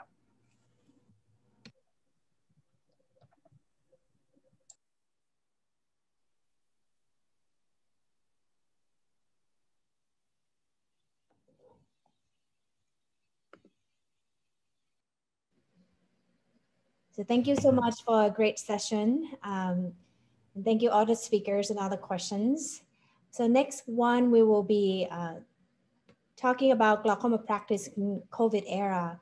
Definitely been a difficult time for all of us during this pandemic. And it's hard to believe that it's over a year ago that we uh, started doing different things because of the pandemic. During this session, our uh, presenters will share their insights into practice into COVID era. So the first speaker will be Dr. Angel Scanzera. She's our assistant professor of ophthalmology here at the infirmary, director of tele um, ophthalmology service, and also director of contact lens fellowship program. She has done a great job in leading the task force during the, the, the COVID um, when it started. So she will share uh, her insights with us. Thank you. Thank you to Thasarat and the rest of the glaucoma service for the opportunity to present today. We've seen some considerable changes in the healthcare system over the last 14 months, from new in office protocols to significant changes in the use of technology during the pandemic. Telehealth adaptation that was expected to take over a decade occurred at an incredible rate over the last 14 months. And though telehealth was previously well employed in ophthalmology, we've seen many changes to the way we apply the technology. I'd like to briefly review changes made in our department related to in office protocols, share our experience using a teletriage system for urgent visits, and discuss telehealth policy guidelines.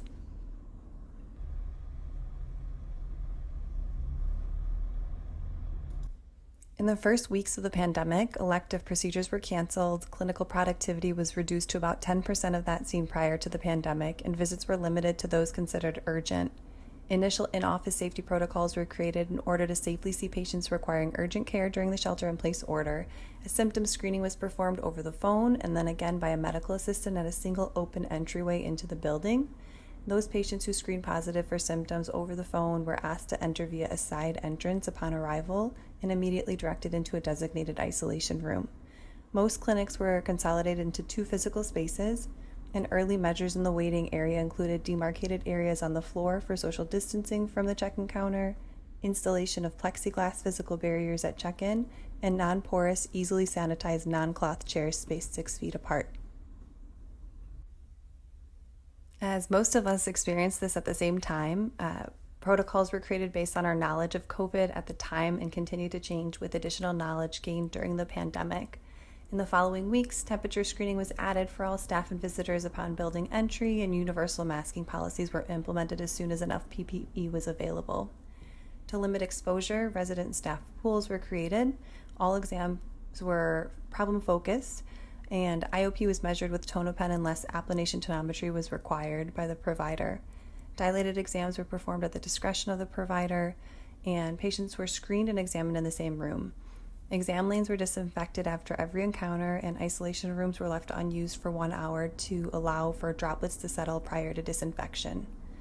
Imaging and visual fields early on were limited to those in which the study influenced treatment or diagnostic decisions in real time. And a teletriage system was implemented to limit in person visits to those that were truly urgent. We began opening up all of our services in May, and our clinic capacity increased as workflow continued to improve with new protocols in place. Patients were prioritized based on reports from each individual provider, and we retired the teletriage system in early June as PPE was available, COVID rates declined, and staffing had increased. A teleophthalmology task force was created in our department at the onset of the pandemic to work on ways to use telehealth in providing care to our patients. Our primary focus became creating a teletriage system for patient acute visit requests. As some background, early in the shelter in place and based on experiences from colleagues in other hard hit areas, we were expecting an increase in urgent and emergent visits due to temporary practice closures. We also expected a decrease in staffing in clinic, had limited PPE, and needed to create a system for immediately identifying and isolated COVID 19 positive or symptomatic patients. All patients requesting an acute visit completed a short HIPAA compliant web based survey through REDCap.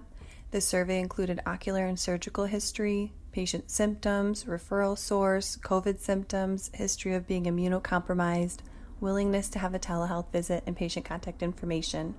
A triage resident reviewed the survey and, if available, the patient's medical record and determined the urgency of the visit. All patients received a call from the physician with determined level of urgency risk assessment measures were adopted to stratify patients into three categories one, high risk requiring an immediate, urgent, or emergent in person visit, two, medium risk requiring a telehealth or phone visit, and three, low risk, which could be rebooked at a later specified time. Urgent visits were scheduled the same day, and the system was used from April 6 to June 6 when all clinics had reopened. Overall, about 358 patients completed the survey. About half were new patients, two thirds were self referred, and unfortunately, about 44% had been experiencing symptoms for over a week. Upon review, one third of acute visit requests were screened out as non urgent, and these patients were scheduled at a later time. The most common patient reported symptoms included eye pain, photophobia, and vision loss. Though most patients were self referred, those who self reported new onset lid swelling, diplopia, flashing lights, or droopy eyelids were most often referred by a provider. Patients with symptom onset greater than a week tended to be older than those with symptoms lasting less than a week. Um, a delay in medical care due to the pandemic has been reported across the healthcare system. One academic ophthalmology clinic found that 49% of participants in their teleophthalmology visits reported they would have delayed seeking care if not for the availability of telehealth. So, interestingly, in almost half of patients in our teletriage system were open to telehealth visits, but less than 2% were determined to be good candidates for telehealth. This differs from cholera, in which 78% indicated they would consider opting for telehealth instead of a clinic visit in the future. Upon medical chart review, about 89% of the patients that were recommended an urgent visit based on their symptoms and history adhered to this visit. There was no significant difference in adherence based on individual characteristics, including gender, race, insurance status, nor new or established patient status. However, 26% of race data was reported as unknown or other. We used the address to append census tract level data from the U.S. American Community Survey and zip code level data from the Cook County Medical Examiner's Office. The data was geocoded to each individual subject via ArcGIS we found that individuals who did not show for their recommended urgent visit more commonly came from neighborhoods with a greater proportion of blacks or African Americans, greater unemployment rates, and greater cumulative deaths from COVID 19. After controlling for race and cumulative deaths from COVID 19, unemployment rate continued to be associated with non adherence to visit. Hopefully, with the distribution of vaccines, we'll continue to see a decline in national unemployment rates. But unfortunately, racial residential segregation intensifies disparities in COVID 19 outcomes directly and indirectly, and much more work must be done in order to reduce these healthcare disparities. So, with that, we've seen this incredible increase in research published on the topic of teleophthalmology over the last three years. Since 1986, almost 1,200 articles have been indexed in PubMed on the topic of teleophthalmology. Of that, 45% have been published since 2019, and just 25% were published solely in 2020. This matches what we are seeing with adaptation in many optometry and ophthalmology practices. One example is at the Kellogg Eye Center, where telemedicine use increased from 30.7% before the pandemic to 86.2% of providers after its onset.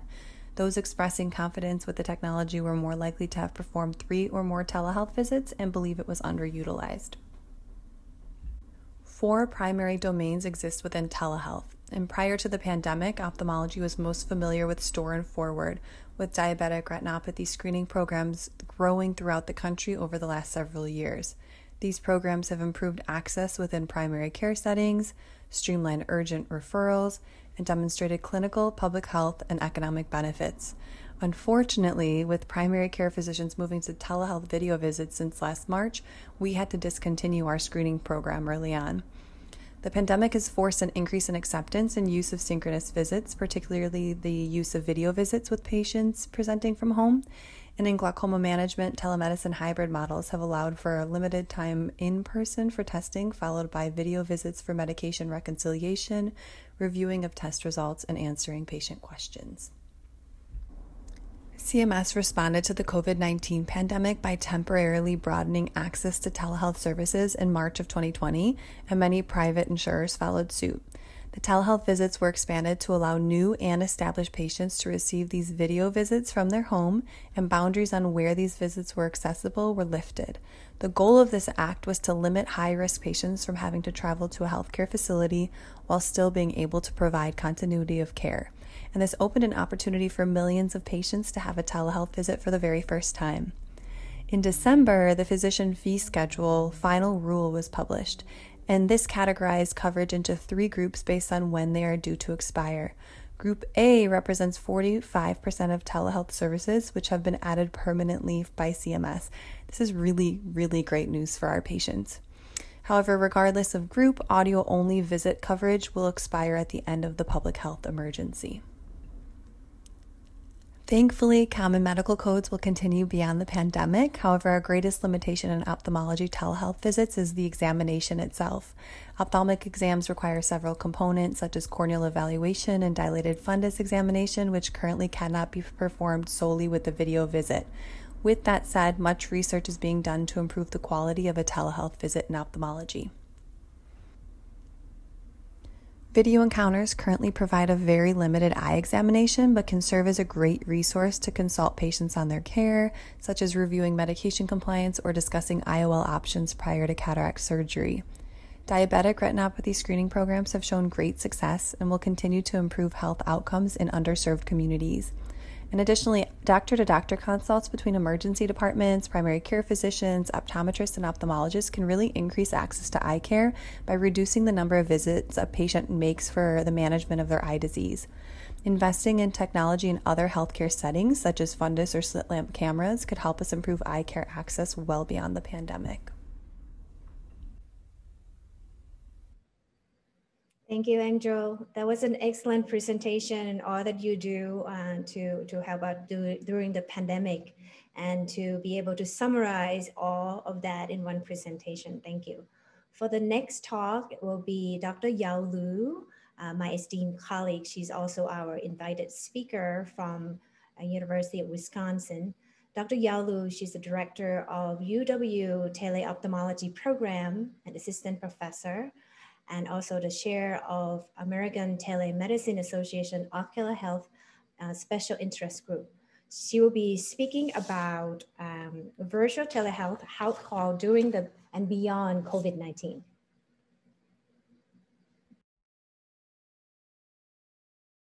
Thanks for the opportunity to present this talk entitled Virtual Telehealth, House Calls During and Beyond COVID-19. I have no financial disclosures will describe the major increase in virtual care in response to the COVID 19 pandemic and its impacts on outpatient visits throughout 2020, which has been updated from a previous version of this talk I presented at the American Glaucoma Society meeting. Next, we'll discuss various resources and tips for providing virtual eye care. Finally, we'll end with some of the implications for ocular telehealth beyond COVID 19. As you know, within weeks of the World Health Organization declaring COVID 19 a global pandemic in March 2020, there was a sudden, dramatic decline in in person clinic visits nationwide that was only partially offset by telehealth visits. Ophthalmology was the hardest hit of any specialty in this large national study, with a nearly 80% decline in clinic visits. Equally suddenly, there was a massive increase in telehealth use nearly 30% of all outpatient clinic visits were being provided using telehealth in April 2020. Looking across the entire calendar year, the sharp decline in overall outpatient visits in the spring partially recovered over a period of about three months, but remained persistently below baseline for a typical year. Virtual care is defined as real-time patient and provider interactions using telephone or video-based platforms. At their peak, virtual visit volume was about 12% of the total outpatient visits across all specialties in a typical year. Virtual visits continued to represent between 5 and 10% of all outpatient visits through the end of 2020. The cumulative decline in outpatient visits for ophthalmology was nearly 20%, which was fairly average compared to other specialties. Notably, by the end of 2020, telemedicine visits in ophthalmology represented a negligible proportion of the total outpatient visits in a typical year. This reflects the significant challenges we face in providing care virtually to our patients due to a variety of factors, including our specialty's reliance on slit lamp exams, as well as testing and imaging technologies that are traditionally office-based. However, given the urgent need to provide virtual care in response to the COVID-19 pandemic, the American Academy of Ophthalmology rapidly provided detailed and continuously updated guidance. Michael Bolin put together the Eye Care Pandemic Listserv to allow eye care providers nationwide to rapidly share resources and best practices. Our American Telemedicine Association Ocular Telehealth SIG provided a video telehealth tip sheet and also published our first guidelines for telemedicine-based glaucoma care this year. Before getting into the details, I'd like to address a few common misperceptions about virtual eye care. First, virtual eye care is not intended to replicate all aspects of the in-person eye exam. Instead, the goals are to identify if any actionable changes are needed in the patient's care and to provide anxious patients with reassurance that it is reasonable to have their next in-person exam at the agreed upon interval. In addition, while some providers worry that older glaucoma patients may not be able to use virtual technology, it's remarkable how many of them have become highly adept with using virtual care during the pandemic. If needed, family, friends, or caregivers can assist. Although it can be daunting to provide care virtually when we haven't received much formal training in this area, many of us have actually been providing telehealth for several years and may not realize it. Anytime you've received an email or text with a photo from a patient, colleague, or family member asking about an eye condition, as in this image of brimonidine allergy, that is practicing telehealth. Anytime you've picked up the phone to triage and reassure a worried patient, that is practicing telehealth. And the same skills we've acquired for providing in-person care are still highly applicable to the virtual care environment. Now let's review some practical tips for providing virtual eye care. Scheduling these appointments either just before or after an in-person clinic can avoid the stress of trying to squeeze in virtual visits while your in-person clinic runs further and further behind. Just before, just before clinic is preferable because it allows you to add on virtual patients into clinic if you identify a potentially urgent problem. Having clinic staff contact the patient just prior to the virtual visit provides an opportunity to check that the patient's technology is working, obtain a brief history of present illness, and update medications as your staff normally do in clinic. The staff member can also check that the lighting is adequate. The patient, staff member, and provider should avoid having a bright light or window in the background as it puts their face in shadow. The patient should also be counseled to have glasses and reading material or an eye chart available. While checking visual acuity is not required for virtual care, it can be very helpful as vision is still our ultimate vital sign. There are a variety of options for testing visual acuity virtually. The most common option is for the patient to pick up any reading material that is readily at hand. Here's an example from a section of the New York Times with its headlines and text matched to their Snellen equivalents on a near card. Patients can provide you with a quick estimate of their visual acuity by simply showing you which lines they are able to read with near correction. Other options include mailing patients printed Snellen distance or near eye charts in advance, or to use patients' electronic devices to check vision. Many electronic options allow patients to calibrate the size of the letters on their screen to a standard size object such as the short edge of a credit card. The anterior segment can be quite challenging to visualize given current limits on camera technology that is widely available to patients in their homes. However, you can ask the patient to bring the camera aperture on their device very close to their eye. Furthermore, you can demonstrate how to do this with your own phone. Sometimes you may need to ask the patient to provide more light using a flashlight or to stand in front of a bathroom mirror where lighting is very bright. Asking the patient to lift their eyelid while looking down also allows for assessment of trabeculectomy blebs and tube shunt coverage. Additional tools to enhance virtual eye care are discussed in another talk within this session. Combining testing at home or in the clinic and can be highly complementary to counseling patients on their test results and advising them on further glaucoma management virtually. In particular, providing hybrid or digitally integrated visits can maximize the quality of the available data using technician-based clinic testing and virtual follow-up with providers. The major expansion of virtual eye care during the pandemic has several implications for the future of ocular telehealth.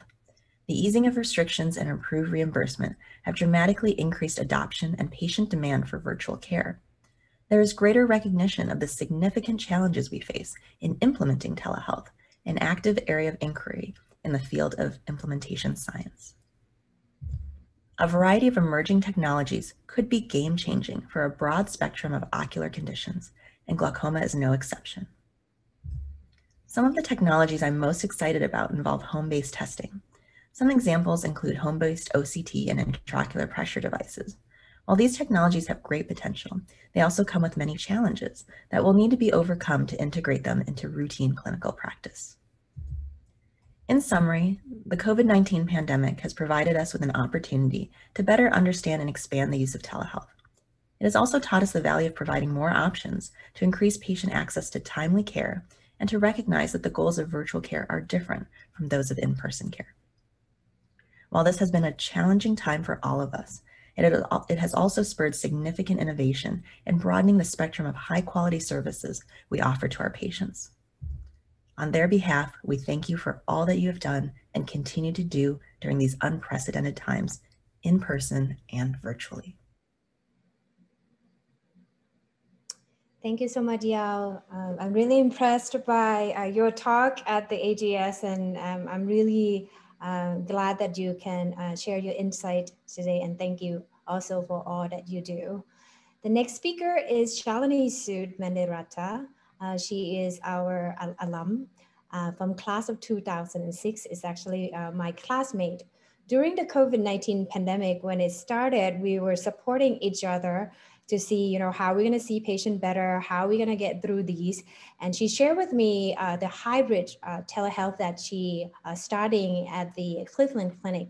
So Shalini Sood Mendiratta, she's the assistant professor of clinical ophthalmology from the Cole Eye Institute, Cleveland Clinic.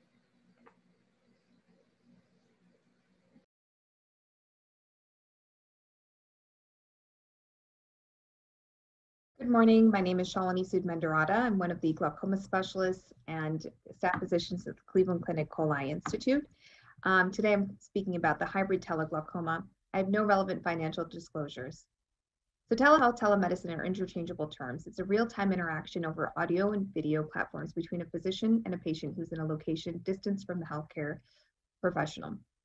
Previously, telehealth was reserved for remote and underserved communities for screening and co-management purposes. We've utilized it uh, with limited utilization due to our specialized exams and diagnostic testing, but the pandemic has created demand for high quality, efficient tele-ophthalmology care, and patients, providers, and payers are all more open to telemedicine as an option for patient care. Reimbursement was previously self-paid, but now the pandemic has led to CMS payment of these types of visits, as well as the relaxation of the Privacy Act to allow for the use of non-HIPAA compliant platforms. As has been reviewed before, there's uh, different types of visits, the synchronous and the asynchronous visits, and CMS has extended coverage until December of 2021. The virtual visits are based on, um, based on E&M level of coding or based upon time. And telephone visits are also based upon time. So our experience at the Cleveland Clinic, basically looking at our virtual visits from March 19th, the beginning of the uh, lockdown 2020 to end of July 2020, uh, looked at uh, the number of virtual visits that we completed. And I would say that we looked at this window because Ohio did start opening up in um, May, and thereafter we were pretty much at 75% of our patient volumes in June, and then by December we were about 90% plus. So at that point, our virtual visits did decline um, as we had more patients coming in person to see us. Um, but that being said, we completed about 2,600 virtual visits during that time period, and you can see the breakdown amongst the subspecialties of different, uh, the number of visits that were completed by each subspecialty group.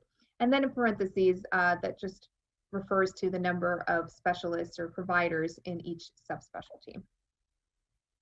So hybrid virtual visits look to address the barriers that we have in office as well as telemedicine barriers. So within, you know, patients seeing us in office, the barriers include insurance coverage, um, financial reasons for they for reasons they may not be able to come see us, time um, with regards to our patients who are working, transportation, for our patients who rely on family members or friends to come in to see us, and then most recently the COVID pandemic.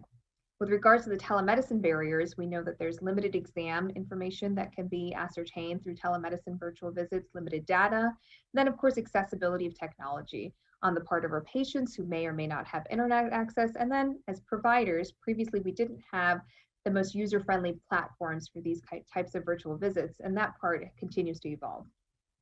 So what are hybrid virtual visits? It's essentially an outpatient data collection coupled with a virtual clinician appointment. The goal is to decrease the time and exposure in the office while still being able to obtain meaningful data for more valuable virtual visit. There's varying amounts of times that are spent in the office versus outside the office depending on the data collected, which includes vision, pressure, or other diagnostic tests. This is a poster that we presented of our experience this year at AGS was a retrospective chart review of 70 patients, 72 hybrid visits from the same time period, April 1st, 2020 to the end of July 2020. We see that uh, it tended to be more female patients who utilized these visits. The age was slightly less than 60 years old, and more than 50% of patients had vision greater than 20/30. With regards to the glaucoma, di glaucoma diagnoses that were seen, the vast majority of patients were primary open-angle glaucoma, and when we looked at the severity, it favored those patients who had more severe and moderate disease, which makes sense that these patients may be more invested in um, being seen to ensure that there is stability of their disease. Every patient had vision and pressure measured in the office with 15% performed at home visual acuity. The diagnostic tests included visual field OCT, RNFL of the macula, as well as pachymetry. 17% of patients had medication changes, 6% had SLT scheduled, and 6% had surgery scheduled based on these visits.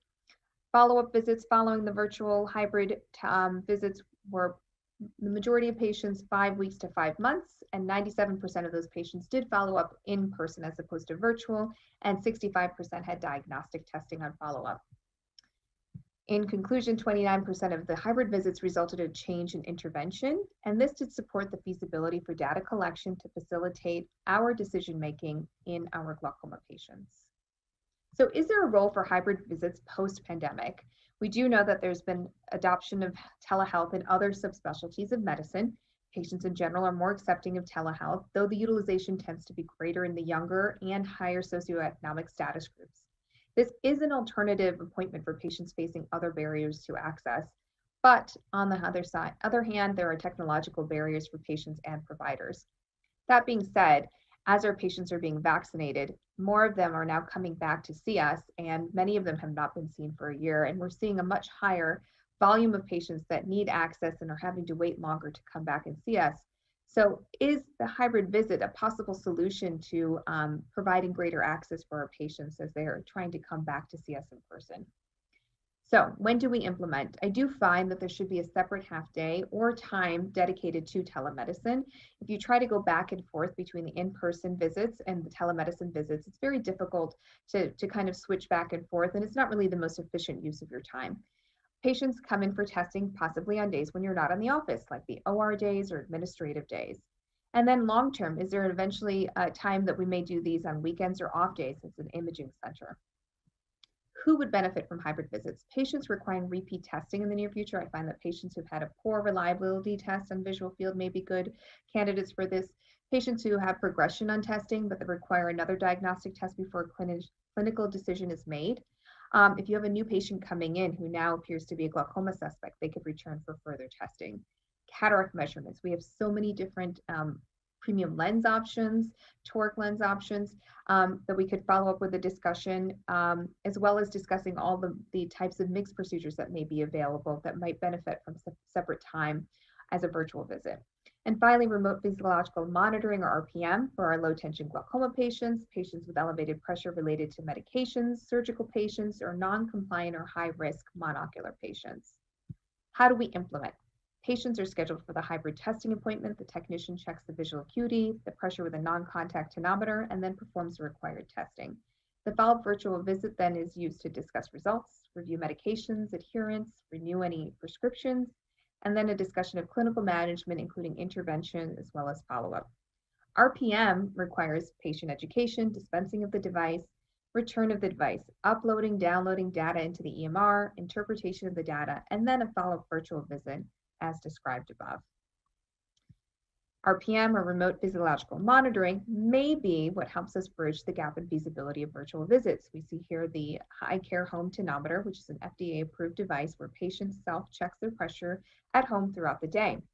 Patients potentially could be more engaged in their care, more invested in their care, um, has the ability to possibly reduce in-office time, the number of follow-up visits, and overall be a time saver for patients and providers.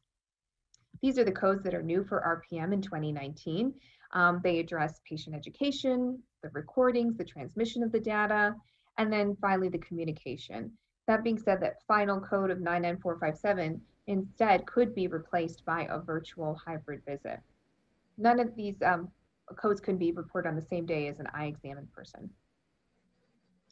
So um, is there also a possibility as we uh, innovate in the uh, visual field arena such as virtual reality headsets or the Melbourne Rapid Field web-based applications, that that could also help um, us in providing greater feasibility of hybrid visits and virtual visits for our patients. So finally, why hybrid telehealth? the COVID pandemic has encouraged healthcare providers to re-examine how to provide safe, efficient, quality healthcare through telemedicine. Patients are open to telemedicine as an adjunct to traditional in-person medical visits, Hybrid visits have the potential to increase access and de decrease in-office time. RPM expands telemedicine and Medicare now does cover and pay for RPM. Finally, as technological advancements occur, the potential utilization of telehealth and hybrid visits will increase. These are my references. And I thank you so much for your time and attention. If you have any further questions, please do email. Thank you. Thank you, Shalini, for that excellent talk and insight, and congratulations for uh, setting up a very successful hybrid uh, telehealth in, in Cleveland Clinic. Uh, next speaker is Catherine Wong. She's our superstar medical student who looking into going to ophthalmology. I'm really, really um, excited about that opportunity and possibility.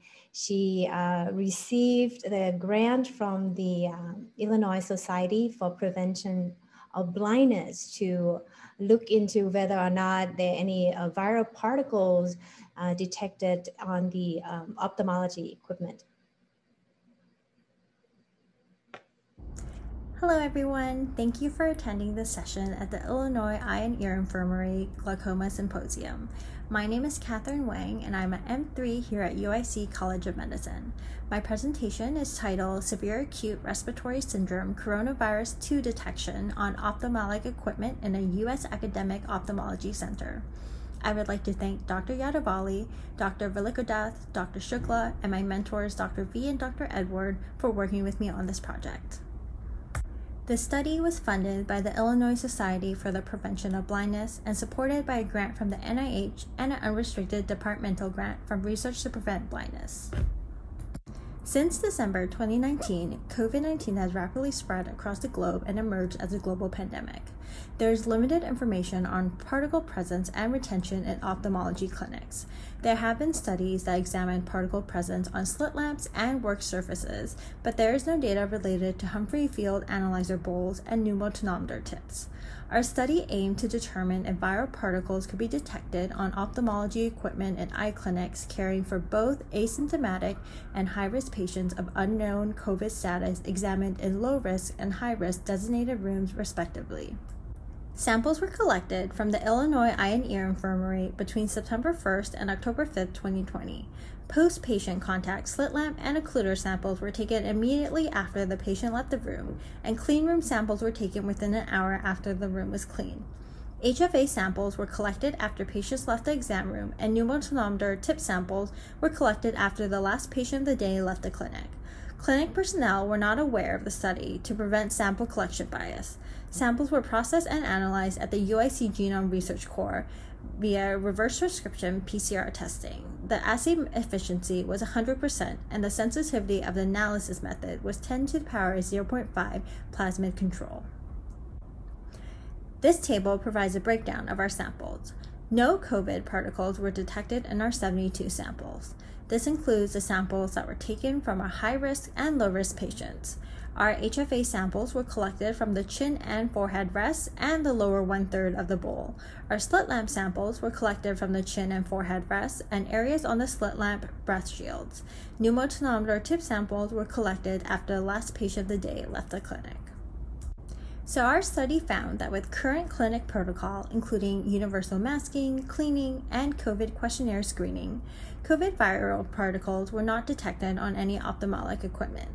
This study differs from previous studies because the IEI has universal masking and triage mandates. We also looked at particle presence on equipment commonly used in ophthalmology outpatient clinics, and the samples were collected over a five week period, presenting a snapshot of day to day operations. The IEI is located in Cook County, and the test positivity rate in the county during the time that we were collecting samples was 5.7%. This leads us to estimate that around 130 COVID 19 positive individuals may have received or provided care in the eye clinics. The study provides objective data about the low risk for patients and healthcare personnel to contaminate equipment in ophthalmology clinics when following COVID 19 protocols. Further studies are needed to investigate the clinical relevance of these findings. Thank you very much for listening to my talk, and I hope you enjoy the rest of your day. Excellent work, at Catherine. Thank you.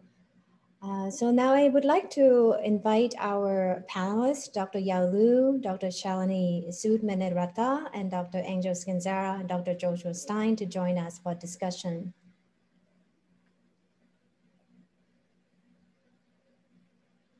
you can turn on your camera, we can actually uh, spotlight you to join.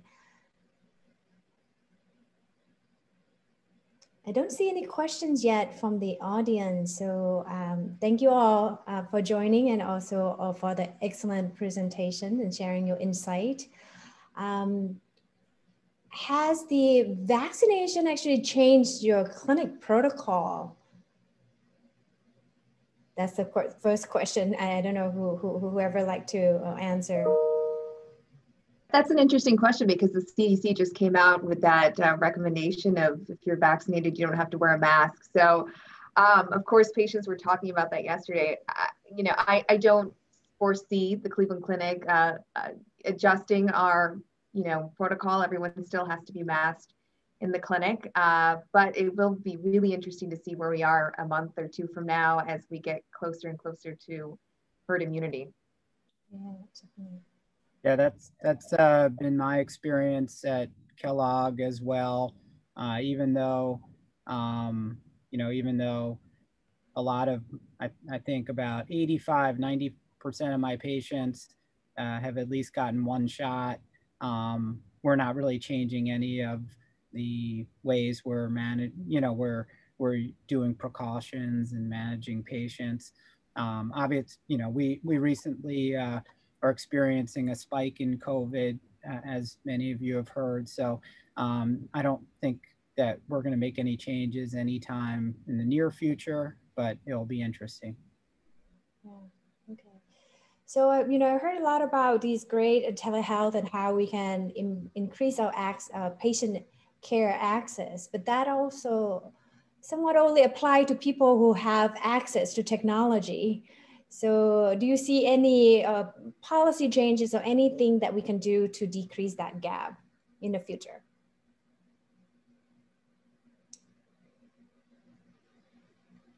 I'll take that one. Um, so, um, you know, obviously, um, patients um, who have lower socioeconomic status often have more difficulty um, uh, doing the virtual telehealth visits because you often need a smartphone or some other device with a camera. Um, I've actually found also in our rural patient population, the lack of broadband internet access has also been a big barrier. Um, some of the ways that we've resolved that is that um, I've uh, actually predominantly used phone telemedicine visits, which a lot of patients are very comfortable with, um, really have very few technical problems compared to um, arranging and setting up um, the uh, video visit. Um, also, some healthcare providers have um, given patients an option where they actually physically come into clinic. Um, this is often done in behavioral health, where the video part is very important in terms of mental health um, and substance abuse counseling, where the patients actually physically do come into clinic, but they come into a, a room by themselves where the technology is already set up for them to do the telehealth virtual visit with the provider in a different space. So um, there are a lot of very innovative ways of providing the technology to folks. Um, also, there's uh, some movement towards having um, home delivery uh, of uh, equipment um, as well, um, such as specialized uh, testing equipment. Um, there's been some written about that as well. Um, so I think it'll be really exciting to see, you know, the use of uh, technologies that we typically have thought of as office-based being delivered to the patient for uh, rental or short-term use. I'll say from our perspective, um, you can speak on this as well. We had issues with telehealth from the provider side at the beginning of the pandemic. Um, that was prior to switching to Epic, and so we didn't have a telehealth platform. And um, the first few were there were several issues, and so it was harder for providers to really commit to the telehealth visits at the beginning. Now it's so much easier. I know that the FQHC out here they actually had got grant funding, and they gave out iPads to people who needed to uh, receive telehealth care if they didn't have anything. Um, I'm curious to see if if there will be expansion of something like that. Yeah, I agree. I think other countries who ha- uh, that have universal healthcare coverage have uh, done these telehealth or televisits for quite some time, and they have maybe coordinated care with the hub in the community that the patient can come into the community and connect to the expert and that can also going to increase the access uh, to everyone. Yeah. I think we have a question before about the surgery. Dr. Salem at the beginning of the symposium asked about, you know, the has COVID pandemic changed your favorite surgery that you perform? So I, I just like to address here. I hope she's still here.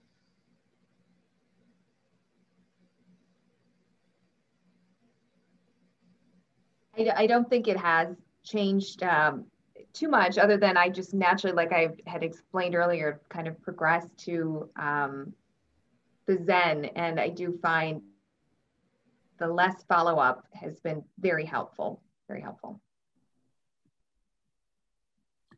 Yeah, I don't think it's changed much my decision making in terms of, you know, um, I, I think, uh, you know, we're, we're as glaucoma specialists, we're usually thinking, you know, how's this patient going to be doing 10, 20, 30 years from now?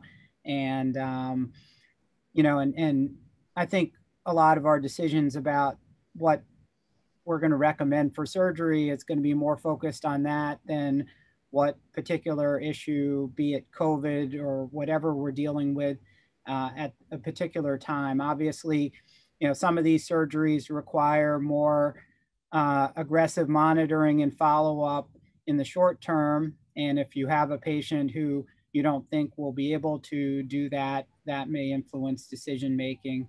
But um, the extent COVID altered that, I don't think it did too much in my case. Thank, thank you so much. So hopefully some of the televisit can help us to reach out to people who can't come for the post-op uh, um, as well. So any other comments, anything? I think, let's see. Uh, I think I don't see any other uh, questions from the audience and Dr. Uh, Edward helped to answer some in the chat box. So thank you all again uh, for participating and for all the excellent uh, presentation and sharing insights. Thank you. Hi, everyone. Welcome back. So for the next session, we will have the Samuel Schoenberg JD lecture. So the introduction also will be given by Dr. Jacob T. Wilensky.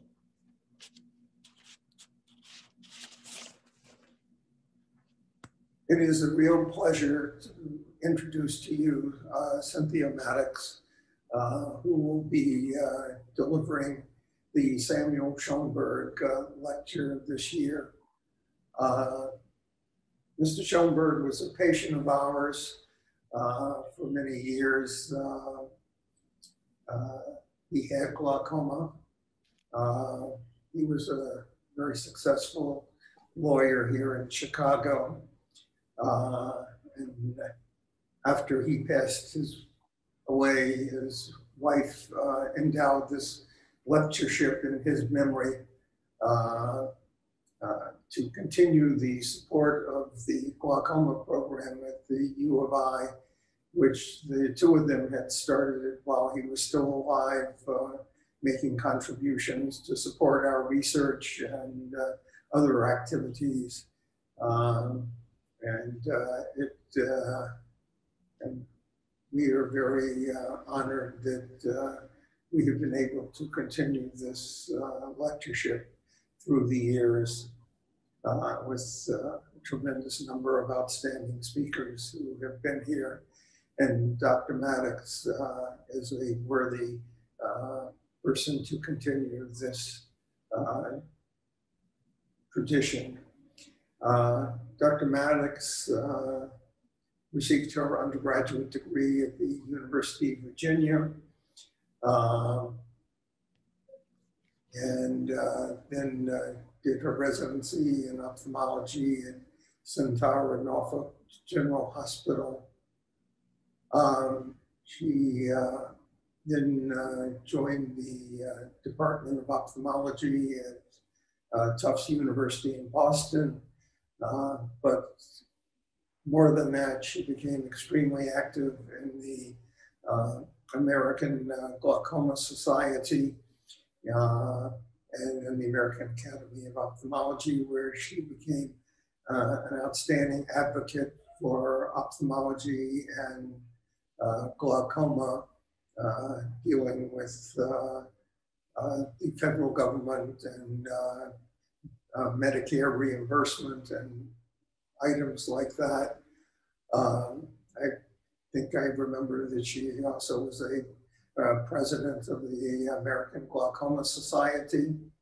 And I attended many sessions where she uh, educated us uh, on uh, uh, the intricacies of uh, funding for through Medicare for glaucoma procedures and then taught us how to code our patient visits to maximize uh, reimbursement and things like that.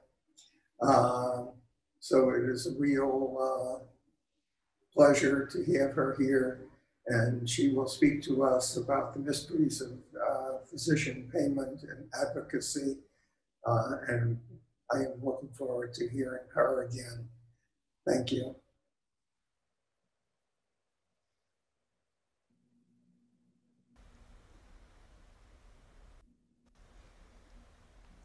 So thank you, Thasarat, for inviting me to be part of the symposium today. Um, I hope to shed a little light on uh, the mysteries of physician payment and uh, explain a number of ways that you can get involved uh, in um, the process. These are my disclosures, none of which are relevant to this talk. And I'm honored to be giving the Samuel Schoenberg Memorial Glaucoma Lectureship. Uh, this was established in 1990 by Irene T. Schoenberg, uh, Mr. Schoenberg's wife, to honor Jacob Wilensky, whom you all know and love. And uh, so thank you, Dr. Wilensky. It's always wonderful to have grateful patients. And uh, part of what we're talking about today is advocacy on behalf of these patients and even involving these patients sometimes um, in order to ensure that we get fair payment for our services. So thank you. Physician payment is complicated. Uh, there are lots of different payers, uh, private payers, commercial insurance, Medicare, and then there's Medicare managed care, Medicare Advantage or Part C. Those are all the same thing. And of course, there's Medicaid, and even Medicaid has managed care plans as part of their um, processes. So it's no secret that the US spends a lot of money on healthcare. Uh, this is just one way of looking at it. These were projections of national health expenditure for all payments, not just physician payments, for 2019. And private payers um, slice of the pie is $1.29 trillion. Um, Medicare is no slouch at $800.7 billion in expenditures. Um, and they're continuing to increase over time. Medicare, in particular, is expanding um, uh, and projected to expand partly from the um, aging of the population. Now, Insurance for glaucoma patients, as we know, is primarily Medicare. Um, just taking a look at the IRIS registry data for 2017, you can see that Medicare, Medicare Advantage, and dual eligible Medicare and Medicaid patients account for over 55% of the patients in IRIS registry. So we pay a lot of attention to Medicare, and that's uh, for good reason. Medicare oftentimes dictates what happens in the private payer arena as well. So, you know, physicians oftentimes feel disenfranchised and feel like they have no say in the process of physician payment and consider it a black box. Um, but hopefully, after today, I'll shed a little light, make it a little more transparent, and make you feel that there are places where you can get involved, and not only can, but it's important that you do. So, physicians get paid for uh, procedures, they get paid for tests and office visits, and every time you see the splash of neon green, um, it will be an indicator to you that there's something you can do about it, and I'm going to tell you on that um, area of the talk. So stay tuned for all those places. And reimbursement depends upon coding. Um, we're all familiar with the CPT codes uh, current procedural terminology. Each service that physicians provide to our patients has a five digit code ass- assigned to it. And there's several categories of codes. Category one codes are the primary ones that have been reviewed and valued and have a payment assigned to them. So they're primarily what we get paid upon. But there are other categories, and we'll talk about that in a minute. You might be interested to know that CPT is maintained and copyrighted by the AMA. They do make quite a bit of money um, from all the educational resources and uh, books they sell and CDs and all that stuff.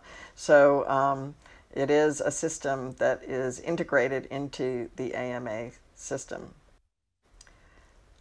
I'm not going to have a chance to go into the entire CPT process, but uh, CPT Category 1 codes do have set criteria. Um, if there is a drug or device invo- involved in the service, it has to be FDA approved before it can have a Category 1 assigned to it. Um, it has to be performed across the country, multiple locations, many physicians performing the service, and its efficacy has to be well established and documented in the peer review literature.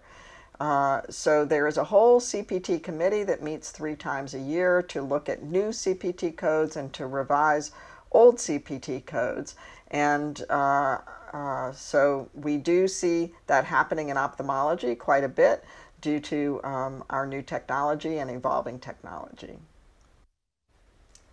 Once it, there is a new CPT code or a revised CPT code in category one, it then needs to go through a process to determine what its value is, how much and ultimately payment will be assigned to that CPT code.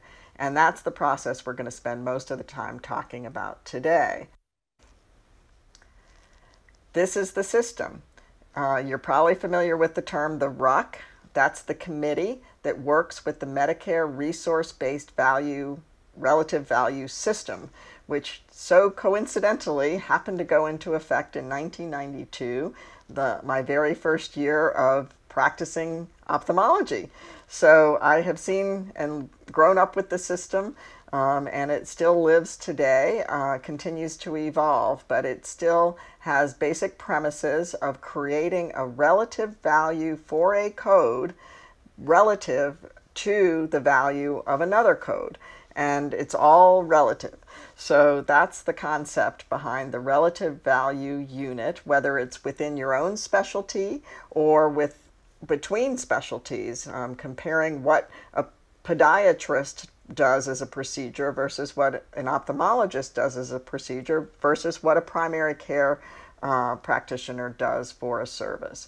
So it is complex and it's a difficult task, uh, but let's break it down. So um, to start with, there are three components to the relative value unit, the RVU.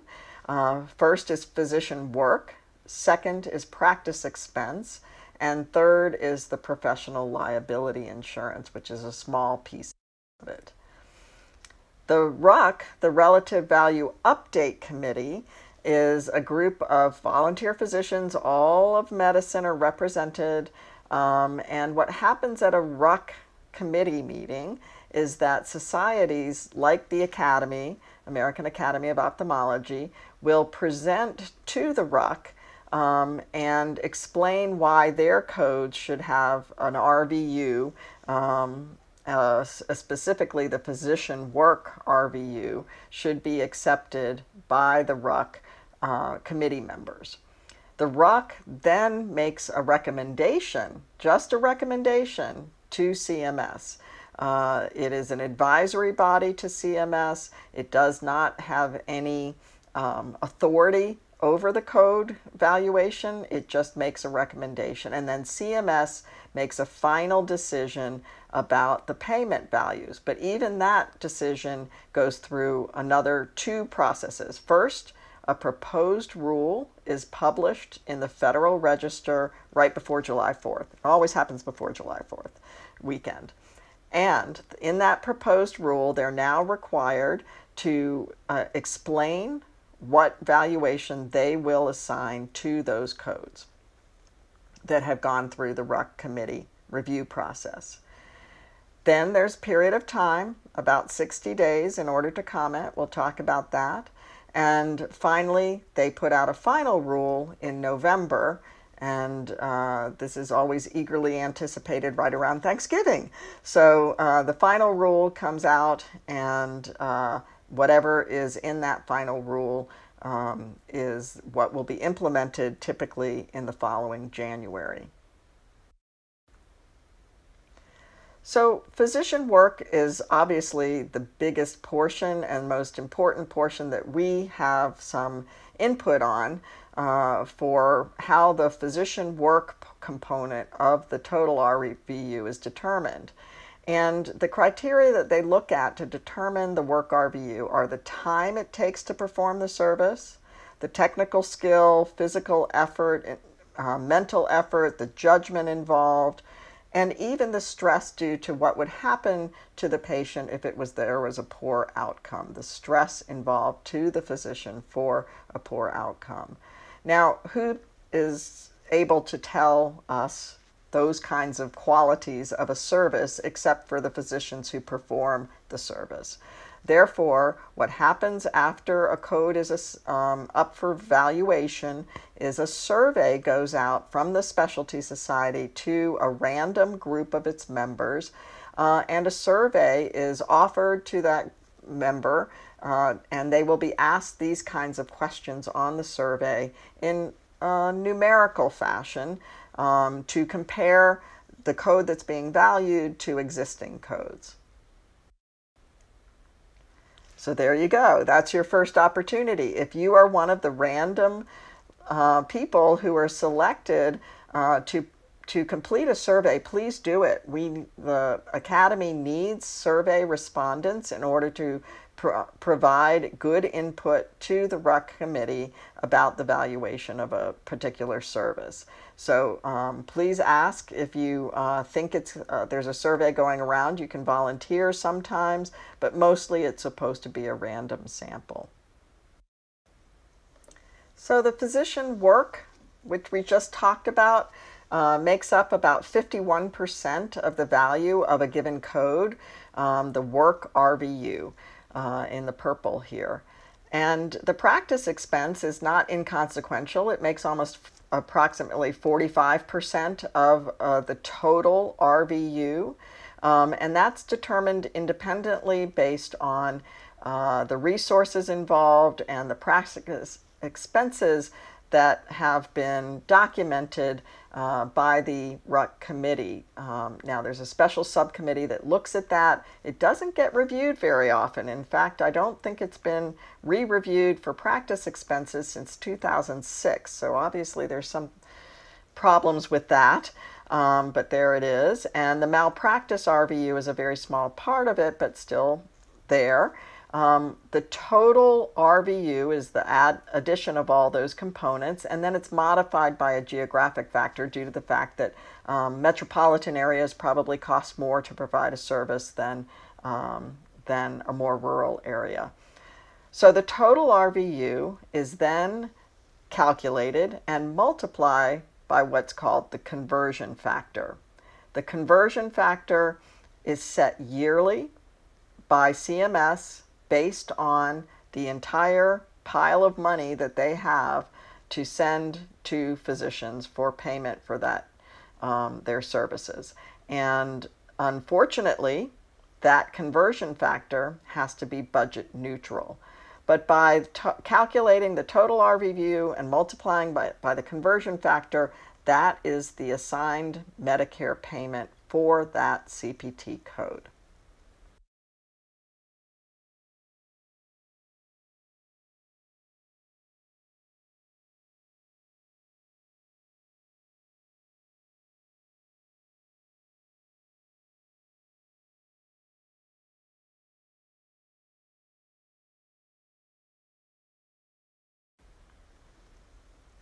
So how does CMS decide which codes to revalue on any given year? Well, you already heard if it's a new CPT code or if it's a revised CPT code, but they also go through these screens looking for codes that could potentially be misvalued. In an ideal world, they would like to revise every code every five years. That's obviously way too much to do with all the codes in the universe. So they look for the low hanging fruit. And in green, I've highlighted uh, a number of the reasons why ophthalmology codes become targeted. Um, oftentimes we do two procedures together. Uh, think about iStent and cataract surgery. That is a reason to get a revaluation. Um, anything that's high volume growth. Uh, think about OCT and anti-VEGF in, uh, intravitreal injections. Those kinds of things will um, easily get targeted by CMS. And postoperative visits, ophthalmology, glaucoma in particular, trabeculectomy gets pulled up on this screen for postoperative visits all the time. Um, and uh, that's a problem for us because we have to keep explaining why the postoperative visits are um, are necessary. And of all new technology tends to get targeted as well.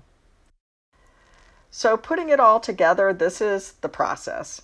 Um, the category one CPT codes get developed um, or CMS targets particular codes.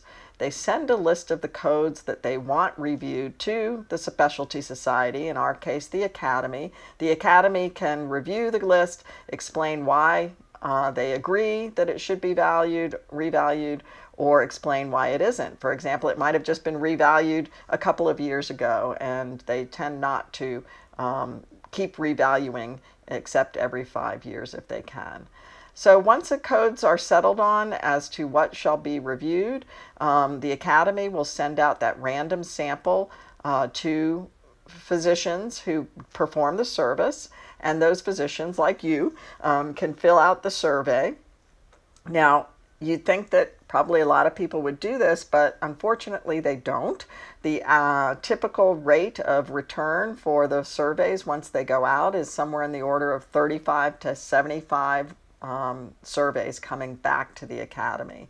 So please fill out these uh, surveys when you can. If you have trouble understanding how to fill them out, contact the Academy Health Policy people. They will um, explain what's involved with it. It's, it's a um, process, and I think they actually put together a, a video so you can understand what you need to do to fill out each section.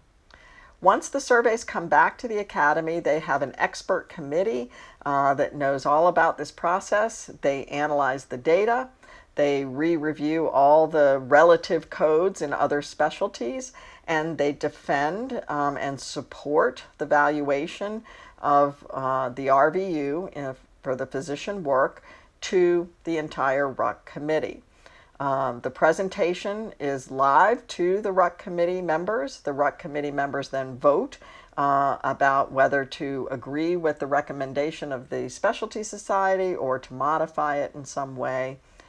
And then the RUC sends it on to CMS. And as I mentioned, the RUC is advisory, CMS gets the final say, and the first glimmer that we find uh, out what CMS is thinking is in that proposed rule in the beginning of July. And that's your second opportunity. So now you've read the proposed rule, you've heard about it from the Academy or your subspecialty society or your state society, and once you understand what is being proposed by Medicare, you have an opportunity to comment, either as an individual or through those other organizations that you are members with. Um, and it's easy to do. You do it through regulations.gov um, and you explain uh, your position and why you either support or disagree with the valuation that the CMS has come up with. Um, in doing it as an individual, it's great to explain patient stories um, and really show the impact of their decision from CMS onto your real life practice. So I want to take you through um, a case study of what happened in 2015 2016 and how uh, we navigated this process. So, um, trabeculectomy and the retinal detachment CPT codes were up for revaluation before the RUC in early 2015. The Academy's groups um, felt like we successfully defended our payments, and the RUC agreed with our recommendations for payment and RVU valuation. CMS, however, rejected those RUC recommended values. Not only did they reject them, they slashed them considerably uh, by 33%. Uh, back in those days, uh, there wasn't a requirement for CMS to explain their rationale for cutting codes um, in the proposed rule. And the first time we found out about it was in the final rule in November. Uh, because of this huge impact that happened that year, uh, they changed the rules.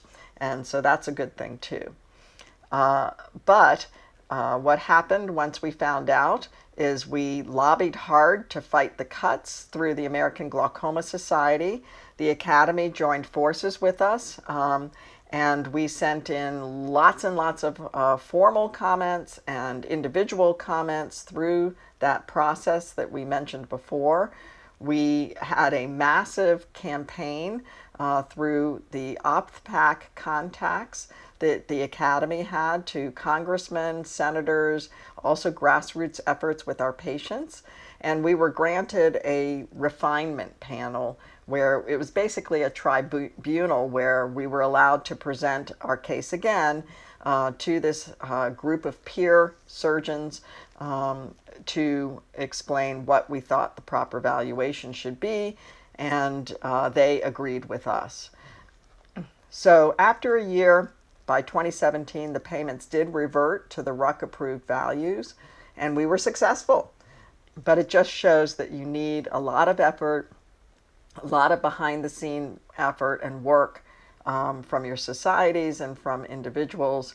And uh, just keep in mind, although we were successful, past performance does not predict future results, as they say in the stock market. So we're going to switch gears a bit and talk about CPT Category 3 codes. Category 3 codes you're probably familiar with because glaucoma has a lot of them over the past decade. Um, they are temporary codes that are assigned primarily for new technologies. Um, they're intended to allow time for data collection, for um, to determine efficacy, widespread usage. There may be an F ongoing FDA trial, for example. And you're familiar with um, iStent and XEN and a number of our testing procedures that have all had Category 3 codes over the past years. What happens to a Category 3 code is it has no physician payment value assigned to it yet because it hasn't gone through that RUC process. It doesn't meet the criteria for a Category 1 code. So it automatically gets assigned to the non-covered list, meaning there's no automatic coverage for these procedures. Um, and not only that, uh, there's no payment associated with it. So the only pathway to having these um, Category 3 codes paid um, by Medicare is to go through each and every individual Medicare regional contractor carrier. Now, the carriers, there's a number of them. As you can see on this map, um, each region is divided uh, and there's a lot fewer of them than there used to be and now there also has been some co consolidation. You can see for example NGS which is the uh, Medicare um, contractor for Illinois also is the contractor for New England and New York. And more and more the various regions have combined their um, policies and keep, try to keep them uniform between the various regions. You can see Noridian takes care of nearly half of, uh, over half of the western part of the United States, and others are quite small. So um, each carrier can have a different policy, can have a different payment rate. Now, oftentimes Category 3 codes and some Category 1 codes are um, written up in what's called a local carrier determination. That's an LCD for short, and it's um, part of your Medicare contractor carrier in your region will publish these guidelines. They're basically guidelines to help you code correctly, to show what that carrier believes are the indications and which uh, CPT codes will be covered by that procedure. For example, there might be a glaucoma procedure that is covered for primary open angle glaucoma and pigmentary glaucoma, but not covered for no normal tension glaucoma. So you need to know these LCDs in your region and you need to pay attention to them because oftentimes they are also used by auditors who can come into your office and try to recoup payment um, for the Medicare system if you have not been following the guidelines correctly. So work with your um, with your state society primarily. Sometimes the subspecialty societies get involved in this, but this is your opportunity to make sure that the, any LCD that is written is um, clinically appropriate. And also, if there is a payment discussion going on with the Medicare carrier, that it's an appropriate payment for the service involved and comparable to what you would expect from some other similar procedure. So get to know your Medicare carrier medical director. Um, your state society should should know these people and help you interact with them if it's if it's necessary. The academy also has uh, a person for each state or region as uh, part of their carrier advisor committee. You can also talk to them. And sometimes it requires you writing letters or going to uh, um, MAC meeting um, in person in order to present your point of view about valuation and coverage. Just a couple other things uh, to make sure that you understand some of the differences. Um, there are facility payments for procedures uh, for hospital outpatient departments and ambulatory surgery centers that are completely different than for what goes on in your doc in a physician's office. And they have their own set of rules. Um, they have their own set of rate setting um, if you will, and it is a very complex system, except that for ophthalmology, there literally are only five categories of facility payment. Therefore, so a procedure like trabeculectomy um, has the exact same facility payment as cataract surgery. Now, you can think about it a little bit. Cataract surgery has a lot of inputs, right? It has an, a lens implant, it has um, viscoelastic, it has a bottle of BSS, it might have intracameral antibiotics, all sorts of inputs that are um, used by that facility payment. And trabeculectomy, well, we've got a couple of sutures. So in some ways, um, they are different, but trabeculectomy might take a little longer than a cataract surgery. So um, that's how they group together the CPT codes into these categories uh, with a complex metric. Now, and as I sort of alluded to, a facility payment is a bundling of all the supplies and drugs and um, resources used for that procedure. Um, there are some exception, exceptions for new technology and pass-through drugs and that sort of thing that little I uh, won't have time to go into, but um, facility payments are set and are based on the CPT system as well.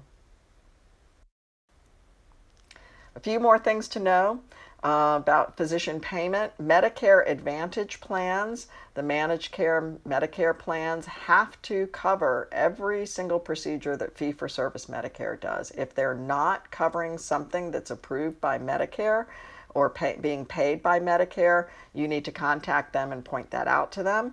If they still refuse, you need to move it up higher to CMS, to the oversight committees, because um, they are required to do so. And some of the smaller um, uh, Medicare Advantage plans, or the new ones, don't always understand those rules.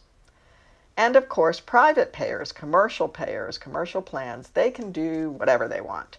Uh, they can restrict access, they can limit uh, what codes are involved with payment, uh, they might provide a lower payment for the same procedure as Medicare. They might have a higher payment. They might have no payment. So it's really important that um, I've been talking a lot about Medicare and getting to know your Medicare system, but it's also important to establish connections with medical directors of your main prime, private payers uh, that affect your practice. And make sure that any policies they have in place are appropriate. And a lot of them do have policies, and they're welcome input from the physicians whom they are working with. A few more things. Um, Congress can change the rules. That's good um, because things like budget neutrality may need to be adjusted um, over time. Maybe the system doesn't work the way it should anymore with the conversion factor ratcheting down or being different. Sequestration, they put sequestration a 2% cut across the board for all physician services, and then they kept extending it till 2025. Um, they had a little moratorium here during the pandemic, but it's back into effect. And that 2% is set to continue until 2025. Um, that's a pay cut for us. So um, Congress uh, is still out there and uh, can be um, uh, part of the solution uh, by advocacy. So, your fifth opportunity is to get involved, knowing your members of Congress, knowing your senators, uh, support your pack. OPHTHPAC has great connections and will can help you make appointments with your legislatures. Um, at your state level, you can uh, work with them as well uh, by supporting your state society. Uh, advocate, go to advocacy day. Some special subspecialties like the AGS has a subspecialty day every four years. So um, get involved. Um, advocacy ambassadors and leadership development programs are there for you younger people who are in fellowship or residency or who are just starting out in your practice if you want to get involved. Um, there's a a way to do that with some funding for that through your state society, through the academy, and your subspecialty society. So, um, so get involved. Uh, just a final note, IRIS registry. I know you've heard a lot about big data today, but big data is important, and health policy people are, um, and Congress people and senators are interested in that data, and the IRIS registry is another place that can um, inform health policy um, help policymakers make good decisions, but, and also is a way for us to show the value of our services so that we do get reimbursed appropriately um, uh, for our services and to the benefit of our patients so that we can provide a sustainable environment for taking good care of our patients. So thank you very much. Uh, wishing you sunshine and clear sailing and uh, some warm weather coming soon. And I'm afraid that after all of this um, big talk that I've given uh, about physician payment, it can be a little depressing. Uh, so I'm also sending you a warm hug from a cute little puppy. So uh, thanks again for involving me in this symposium, and I'm happy to answer any questions. Thank you. Thank, thank you, Dr. Mattox, for such a wonderful talk and all your leadership and everything that you do uh, for us. I would like to invite you, if you can open, uh, turn on your camera, we can spot, spotlight you on the... I think I'm there now. Okay. Thanks. How's the weather in Hawaii, right? Oh, it's pretty darn good. early here, but it's like a nice day. Yeah. So if, if this is in person, we'll be presenting you with the flag. So I have Dr. Wilensky here also to give some remarks.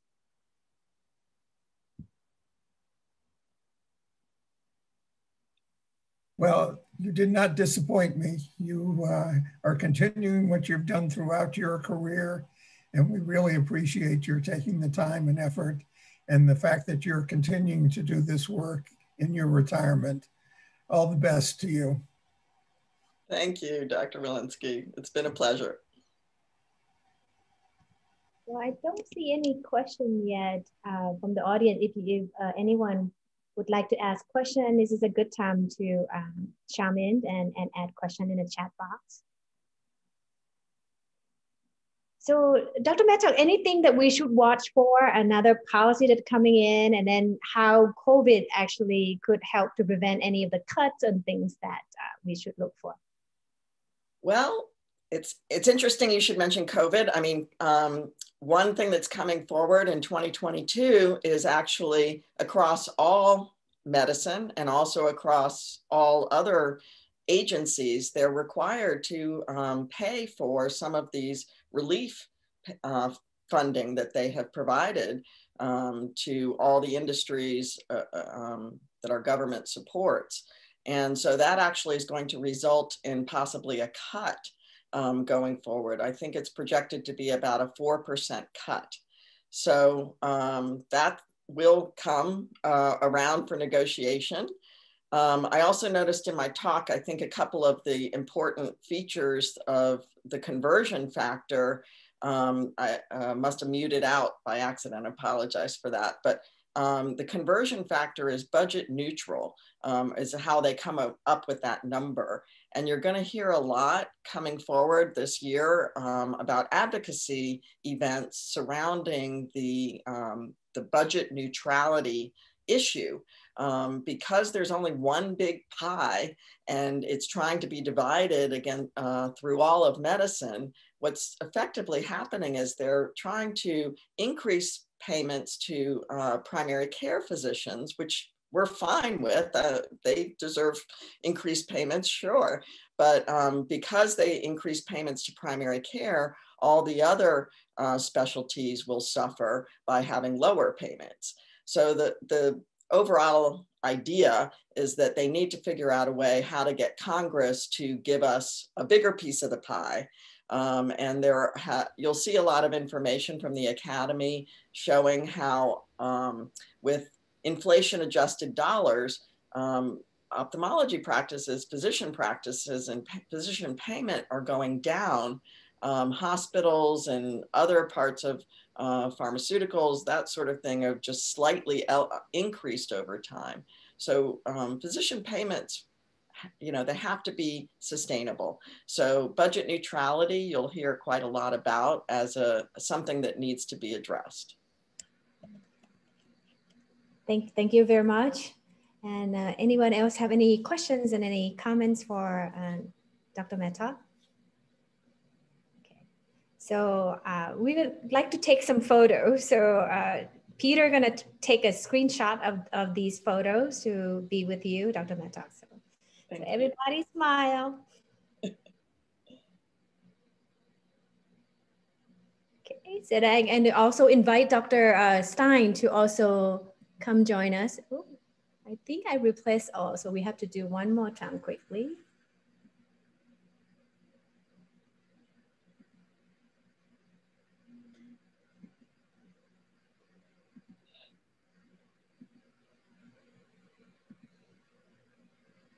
Okay, do we have everyone? Okay. Yes. Okay, wonderful. One more time, smile. Yes, thank you. Thank you so much.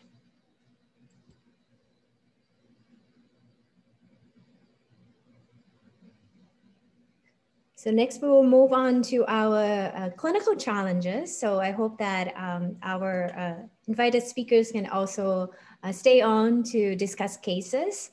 We have Dr. Uh, Javaneh Abbasian and Dr. Michael Henry Thanks to so lead much, the discussion. Thank Yes. you for inviting us to do the to the uh, uh, last clinical cases. So we have for you three um, case presentations from our three outstanding residents uh, that will hopefully highlight some interesting questions uh, for the panel. Um, and for everyone else in the audience, if they can put some questions in the chat, then we will ask the, the um, panelists to then um, give their thoughts at the end of the discussion. So we'll go ahead with our first presentation. I believe it's um, Dr. Catherine Chen will be first. Um, we will just put her presentation up and she will be giving it live.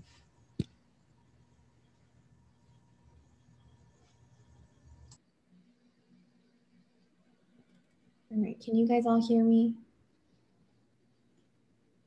Yes, perfect. Go ahead, Catherine. So um, I'm Catherine. I'm one of the PGY2s.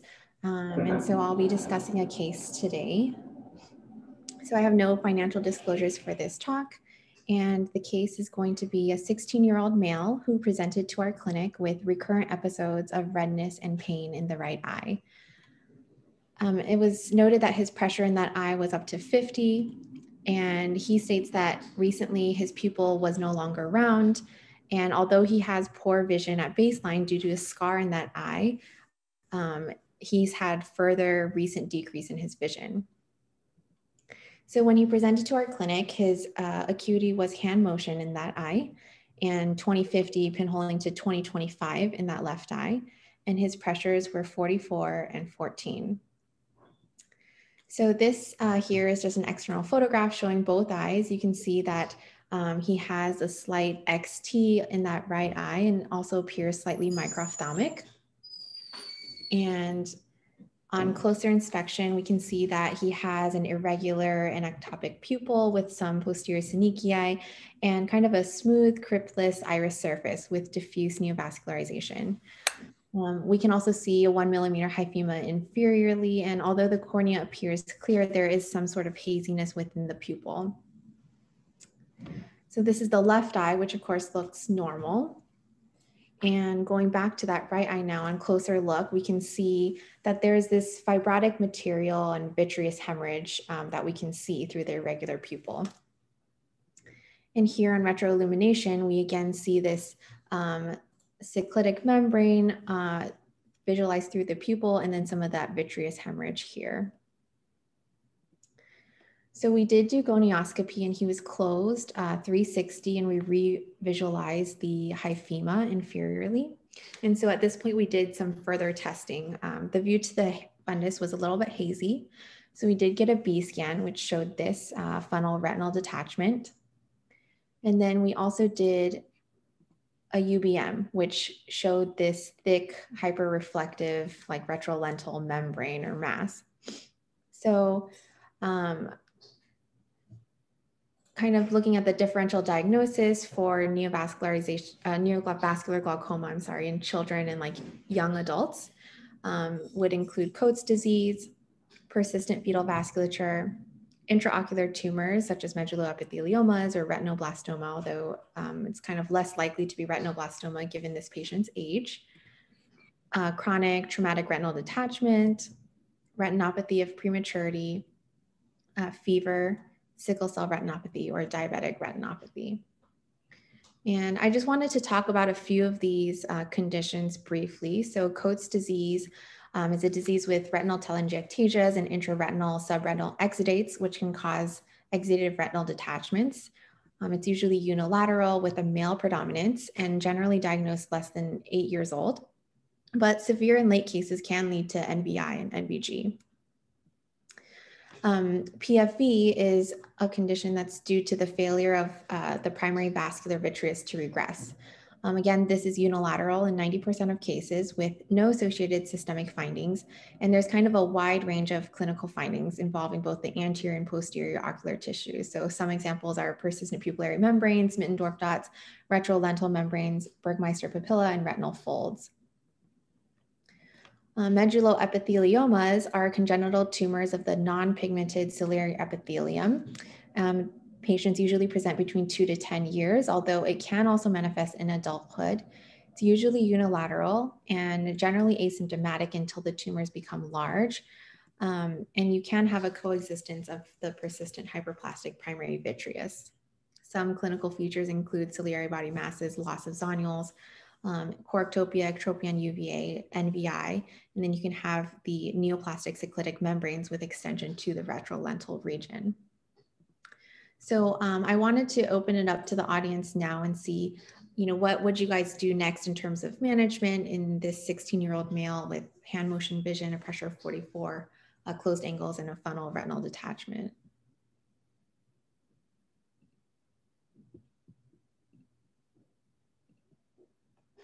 Thank you, Catherine. Do any of our panelists want to add what they might do? I think it's, you know, it's a situation now where it's, um, it's a painful, nearly blind eye. Um, and I would approach it with that in mind. Um, you probably want to do as little as possible, but keep do what you can to help with his pain, which is what he primarily presented with. Um, uh, certainly, a long-standing funnel RD in this young man is um, not repairable, um, but the neovascularization certainly is treatable. Um, so I would start with the neovascularization, and we have really good drugs for that. Yeah, I would agree with uh, Dr. Mattox. I, think that at, at this point, uh, unfortunately, the visual potential is very guarded and it's mainly uh, making sure the patient is comfortable um, and, you know, whether it's medical management, cycloplegics, anti-VEGFs, you know, um, corticosteroids, um, you know, there, there are certainly uh, you know, less and more invasive ways to get the eye comfortable. Um, but it's just, um, you know, figuring out with the patient and his, uh, you know, his uh, family members, you know, um, how aggressive they want to be and how uncomfortable he is um, in, in his present. You know, it, it seems like uh, his cornea was relatively clear, which means his pressures have probably been high for quite a while. So um, I don't know how uncomfortable he is at the present time. I just wanted to make a quick comment. I agree with everything that's been said. I think, you know, because this is a new presentation, oftentimes people will get really excited to see such a high pressure. But often in these um, glaucoma medication naive patients, they can respond very quickly to a relatively, you know, simple regimen of um, glaucoma topical um, medications. And so oftentimes they can be temporized relatively quickly with, with just medications. Uh, pressure 44 on no medications is quite different than uh, one where uh, they're already on several medications. That's a good point. The pressure would be a lot higher if he didn't have that RD also. So that's probably helping in this situation. But um, the other thing not to forget is protective eyewear. Young males anybody who's monocular um, needs to be counseled about that. Okay, perfect. So um, thanks so much. So what we ended up doing is kind of a combination of all of those. So we started the patient on maximum medical therapy. So we started some drops while he was in clinic, which improved his IOP from 44 to 34. Then kind of sent him home on Combigan, dorzolamide, as well as PO methazolamide. Um, we started him on atropine. Uh, we thought we might need a CPC at some point and then also referred this patient to retina for further evaluation of the uh, retinal detachment. So about a month later, um, the patient's IOP was uh, improved and well controlled on the medical therapy. Um, we got some additional history. So the patient had no history of prematurity, no history of any ophthalmic diseases, including fever, no concern for retinoblastoma in childhood. And so they decided to uh, inject Avastin for the neovascular glaucoma into the anterior chamber, given his retinal detachment, and um, thought that the findings might be suspicious for PFV given this retrolenticular opacity. So I, I have some additional photos. So this um, is showing the right eye again after the Avastin injection. We can see that there's resolution of the hyphema, but there's still a persistent uh, NVI. And on retroillumination, we again see this fibrotic material or membrane, which is possibly like regressed hyaloid vasculature, remnants of Cloquet's canal here. And then we also noted that there was an area superiotemporally with zonular loss and ectopia lentis of displacement of the lens inferonasally. And if we go back to the initial photograph, actually we see that here as well, shown by the arrow. So this is um, what the fundus looked like. Uh, this is an Optos photo of that right eye. You can see that um, there's a small nerve, there's no obvious stalk, um, and the view is a little bit hazy still because of this funnel retinal detachment, but no, you know, obvious NVE or, or anything. So over the next few months, um, the patient continued to be followed. We were actually able to wean him off almost all of the medications, and he's now only on timolol daily um, and the IOP continues to be well controlled and there's no further need for Avastin at this time. So we thought this patient most likely has persistent fetal vasculature um, with a retinal detachment, retrolental fibrosis, and ectopia lentis. Um, so to summarize, uh, this patient is kind of an example of patient with PFV and associated NVG. Um, the eye did exhibit like unilateral features of the microphthalmia, the retrolental membrane, ectopia lentis, with zonular maldevelopment and a funnel retinal detachment, which can all be suggestive of, of syndrome. And despite the persistent NVI, he's doing really well um, in terms of his pressure with resolution of the hyphema just with the medical therapy and one injection of the um, anti VEGF treatment. And so um, we're going to continue to follow him, but there's no plans for needing CPC in the future at this time, at least, and no further need for future Avastin injections. So these are my references, and I just wanted to thank Dr. Edward um, for giving me this case, Dr. Mueller, Dr. Henry, and then also Dr. Abbasian and Dr. V for letting me speak at this symposium.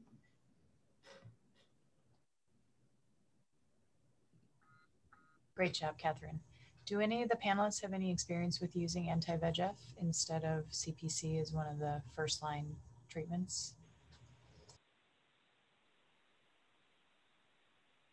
Yeah, I mean, I think it's for any patient with neovascular glaucoma, anti-VEGF is imperative. And uh, I would give it the very first time we meet that patient, um, if we can clear the retina and understand what's um, behind the cloudy cornea, for example.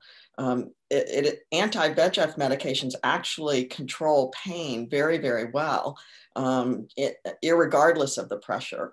Um, so that has been shown in a number of studies how uh, the pain reduction just from using anti-VEGF um, is impressive, even with no change in the pressure. So I think it's it's mandatory. Yeah, and, I would I would agree with that. The other thing is, you know, a lot of uh, more a more common example would be a patient with neovascular glaucoma from PDR, um, and you're thinking maybe not in doing a, a diode, but putting a tube in, and often when you abruptly lower the pressure and there have all this NVI, it bleeds like crazy. So uh, if you can do the anti-VEGF ahead of time and try to reduce the NVI, you'll likely get less bleeding if even if you end up doing an incisional procedure um, to follow.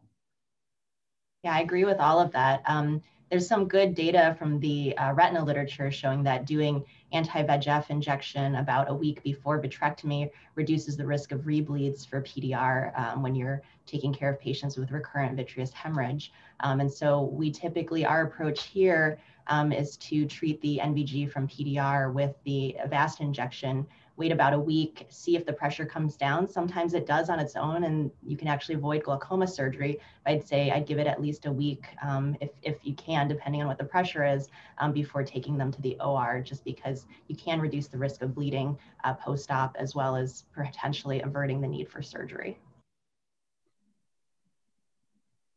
Great. Thank you so much. We're going to move on to case. I was just going to make one comment about that last case. Uh, the only thing I would say is, you know, for whatever reason, this patient developed uh, neovascular glaucoma after having had this condition, you know, presumably since birth. And the anti-VEGF that we injected, at Avastin, is going to have a limited, you know, that's, that's going to, the efficacy of that's going to wear off over time. So I would just continue to follow this patient uh, and just make sure that that neovascularization, new, the NVG doesn't return and they may need, you know, if they responded well to Avastin the first time, they may need, he may need uh, serial Avastin injections or some other treatment to prevent uh, the recurrent neovascularization. Thank you.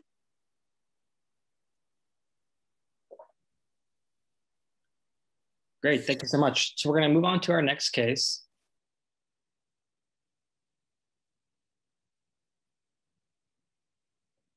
If um, Dr. Mehta could upload her next presentation.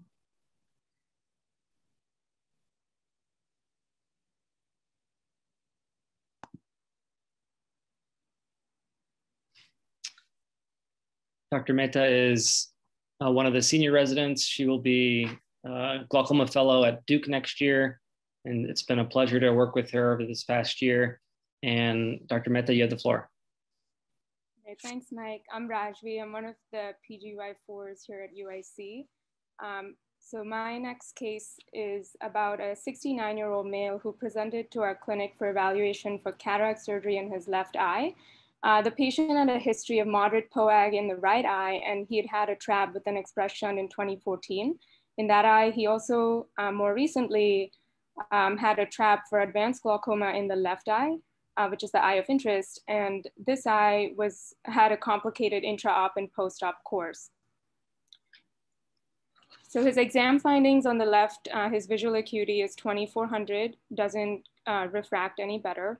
Uh, pupil is irregular, no APD, uh, just some synechiae. His IOP has been kind of stable at four to the four to six range in both eyes. Um, and his pinhole PAM visual potential for the left eye that we measured was 2060 at the pre-op visit. Uh, we thought he could do a little better, but that's what we had.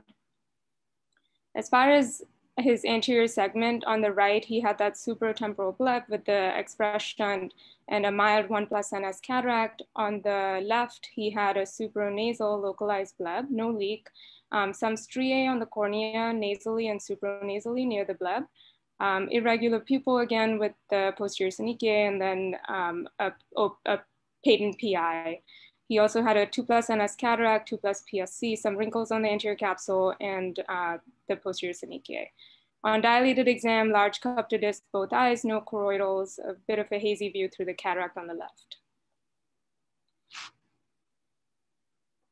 So as far as, um, you know, while reviewing his IOL calculations and looking at his topography, we noted he was, when he presented for the cataract surgery evaluation, at this point he was at post-op month three after his trab surgery, and we noted uh, pretty significant astigmatism of 8.29 diopters in the axis of the trab.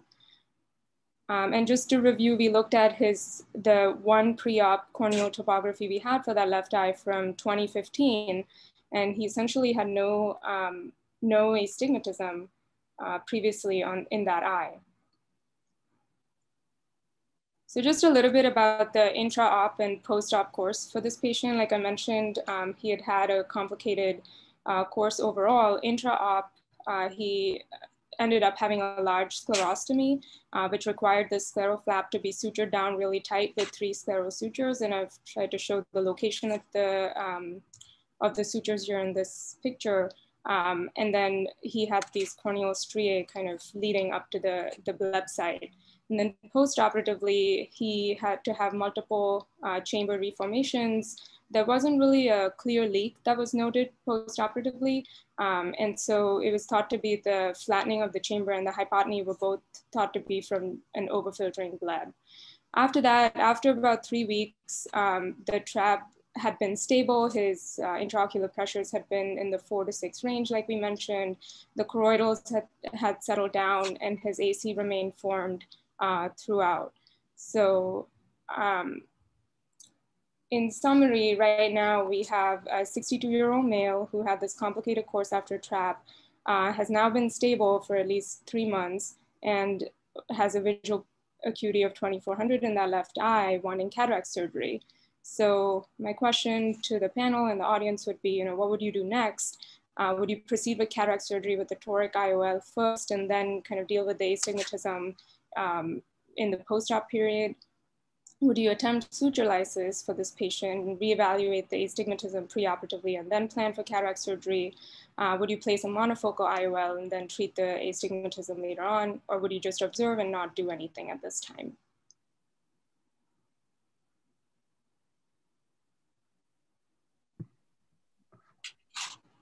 I can uh, take a stab at this. Um, I'm sorry, Cindy. You want to go ahead? Nope. No, I would. I would probably for this patient. I think the the key here is the pressures between four and six millimeters of mercury. So I think it's hard to evaluate the astigmatism with, when the eye is hypotonous like this. I think you may find that if the pressure comes up to let's say the 10 or 12 range, the astigmatism may change.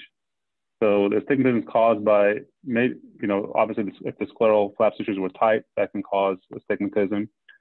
I don't know what kind of closure was done trabeculectomy, whether it was a limbus-based or, or, or a fornix-based uh, flap, but early in the postoperative period, you can get a lot, a lot of astigmatism from the sutures that you use to close the conjunctiva. It sounds like in this case, though, this, the astigmatism being, is being induced by the scleral flap sutures in the setting of hypotony as well. So I would vote D uh, to observe, not perform cataract surgery at this time. Let's see if the pressure comes up, and if so, evaluate how the vision is at that point. The SIL will change. I would definitely not do a toric IOL because um, I think the astigmatism here is going to change as those sutures uh, are either dealt with in the future, the pressure comes up, or if that bleb is revised in the future to bring the intraocular pressure up. I'm going to take a contrarian view. So I think, you know, with the decline in vision that we're seeing here and the potential for improvement, I would definitely want to do cataract surgery because, you know, for most of us, 2400 vision is is pretty lousy. And I think, you know, there's uh, an opportunity to really improve things for this patient. Um, oftentimes, if we do cataract surgery, if there's enough uh, post-operative inflammation, we might actually solve the hypotony issue. Um, so I would definitely consider doing cataract surgery in terms of which option to choose. I think all of, you know, A, B, and C are all reasonable choices. Um, obviously, they all have pros and cons to them. Um, I'm really interested in, in option B. I think that's a really uh, kind of a interesting strategy. I know that, um, you know, once you're, you know, after about four to six weeks out after a trab, it's often the case that suture lysis will not significantly impact the pressure. Um, many of us you know, the patient didn't come back for follow up, you know, their pressure is too high. It's been like, you know, a month after their trab, you go to, you cut all the sutures and nothing happens, which is very frustrating. Um, Whereas there are case reports where somebody lysed a suture a year after a trab, and this is why it's a case report and the pressure came down because it's it's really uncommon. Um, so I think you actually may be able to um, these sutures without a significant impact on the uh, the pressure. Um, so uh, I think that that's very interesting to me. And I think, you know, I'm, I'm reluctant to do torics um, unless you have a pretty good sense of, you know, where things are at. So, um, you know, I think uh, probably dealing, doing B or C would make the most sense to me. Um, but I'm, I'm curious about option B. I think that's, that's very provocative. One thing I noticed on the corneal topography is that um, you know, sometimes when there's real hypotony causing um, the astigmatism, and I'm sure it's contributing that there's the pressure's low. But if you looked at the um, topography, it's very regular. There's no flat, there's not a, a real flattening right adjacent to the trab flap. Um, yeah, so, oops. There we go. So um, sometimes when you have that real um, unstable bad type of astigmatism. Um, you'll see a lot of red upright adjacent to the um, to the trab flap, and we don't see that here. So I, I agree that it's almost certainly related to the tight sutures. Um, three months out, I might try to let the patient go a little longer, but if they're complaining bitterly about this vision, and I agree it's lousy, um, then I might sequentially start laser suture lysis in preparation for doing cataract surgery. But I wouldn't be in a huge rush just because three months and a nice over filtering bleb, you don't know what's going to happen. So I would do them one at a time, slowly. Um, you know, back in the day when we did extra caps, um, you know, you intentionally induced astigmatism and then slowly let it off by doing suture lysis. So, um, so it's not unheard of to do that.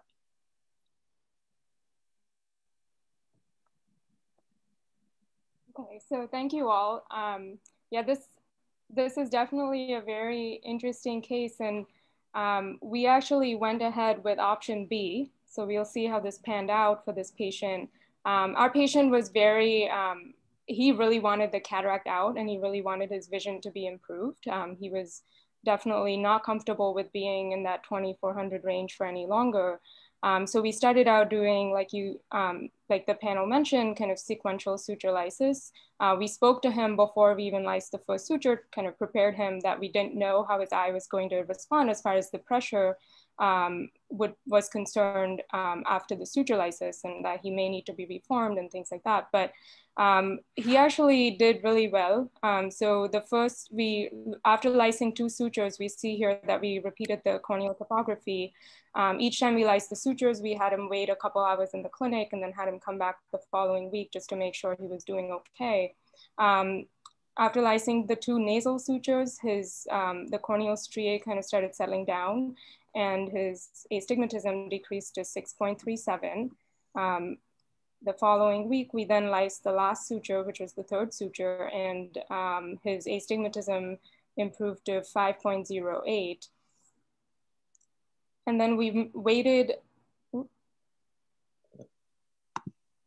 we waited a month after that and repeated the, the topography and his astigmatism was down to 4.7. So there was definitely the thought obviously looking back now is that there were multiple components to this and we'll get to you know different causes for astigmatism after after trabs but definitely the the scleroflap sutures were contributing to the high astigmatism that this patient had. So going into astigmatism after trabeculectomy surgery um, you know studies have reported that the induced astigmatism is usually seen in a with the rule uh, fashion after trabeculectomy surgeries, and the, the astigmatism usually stabilizes at about three months post-op, and it's usually between the 1.5 to 2.5 diopter range.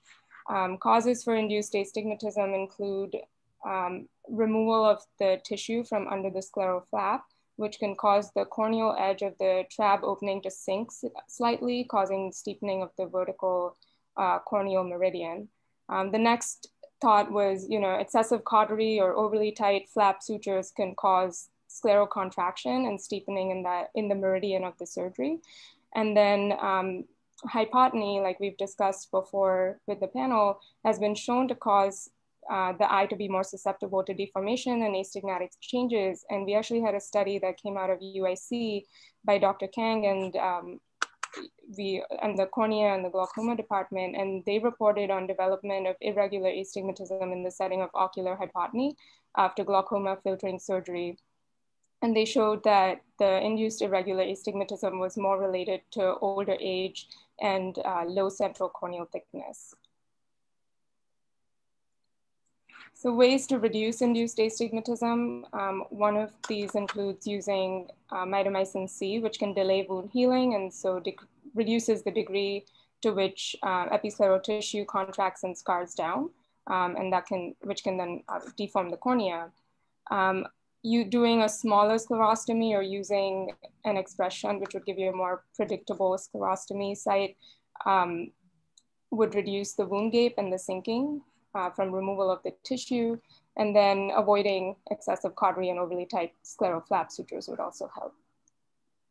So because our uh, patient showed significant improvement in corneal astigmatism after uh, suture lysis, we looked at studies that have commented on the role of suture lysis and also location of the scleral flap induced astigmatism, and we found that the location of the flap closer to 12 o'clock can steepen the vertical meridian. Few studies have reported that suture lysis doesn't really affect corneal astigmatism, um, but these were smaller studies with small sample sizes, and the magnitude of induced astigmatism was between 1 to 1.5 diopters. So they attributed most of this to uh, removal of the tissue for the sclerostomy.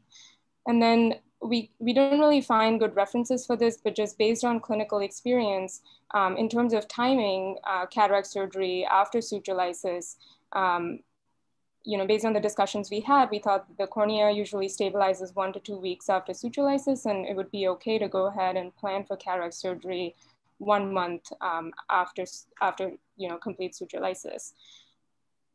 Uh, treatment options for patients uh, with astigmatism include you know, glasses, contact lenses, and then uh, toric IOLs is certainly an option.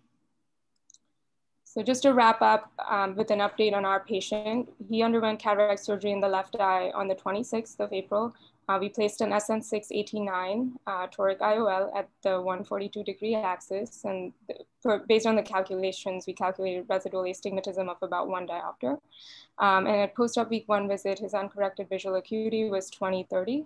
Um, and his IOP has remained stable at six. So he's very happy. Great. Thank you so much to Dr. Mehta for that excellent talk. Um, we should mention for those that are, were on the edge of their seat about what happened after the suture lysis, that the pressure still hovered around four-ish, three, four. Um, chamber did not shallow, there were no choroidals. I mean, the patient tolerated it well as though, you know, it was, everything was already in place. So um, very interesting talk for, for all of us here at the VA who saw this patient.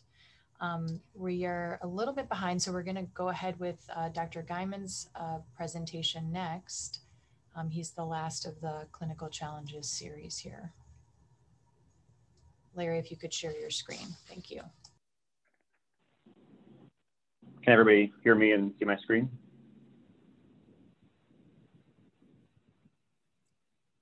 Yes, okay. My name is uh, Larry Guyman. I'm one of the uh, senior residents at UIC. I'll be doing the third case presentation. I want to thank Dr. V, Dr. Edward Abbasian, and Dr. Henry for inviting me to give this talk uh, and case presentation and also for the case. So the history here, this is a patient who's referred to us for IOP control. He's a 60-year-old male uh, with a past ocular history of nanophthalmos, diagnosed with glaucoma a few years ago and was referred for IOP control. He was initially treated with latanoprost um, in 2017, but that was complicated by choroidal effusion per the notes. And currently he's on no eye medications. He denies any symptoms aside from uh, unchanged floaters for a while. Past ocular history, the nanophthalmos and very high hyperopia, as we'll soon see. He has a past medical history of asthma and hypertension, NPDR in his father. Not any medications, and he does have uh, sulfa allergies that are noted.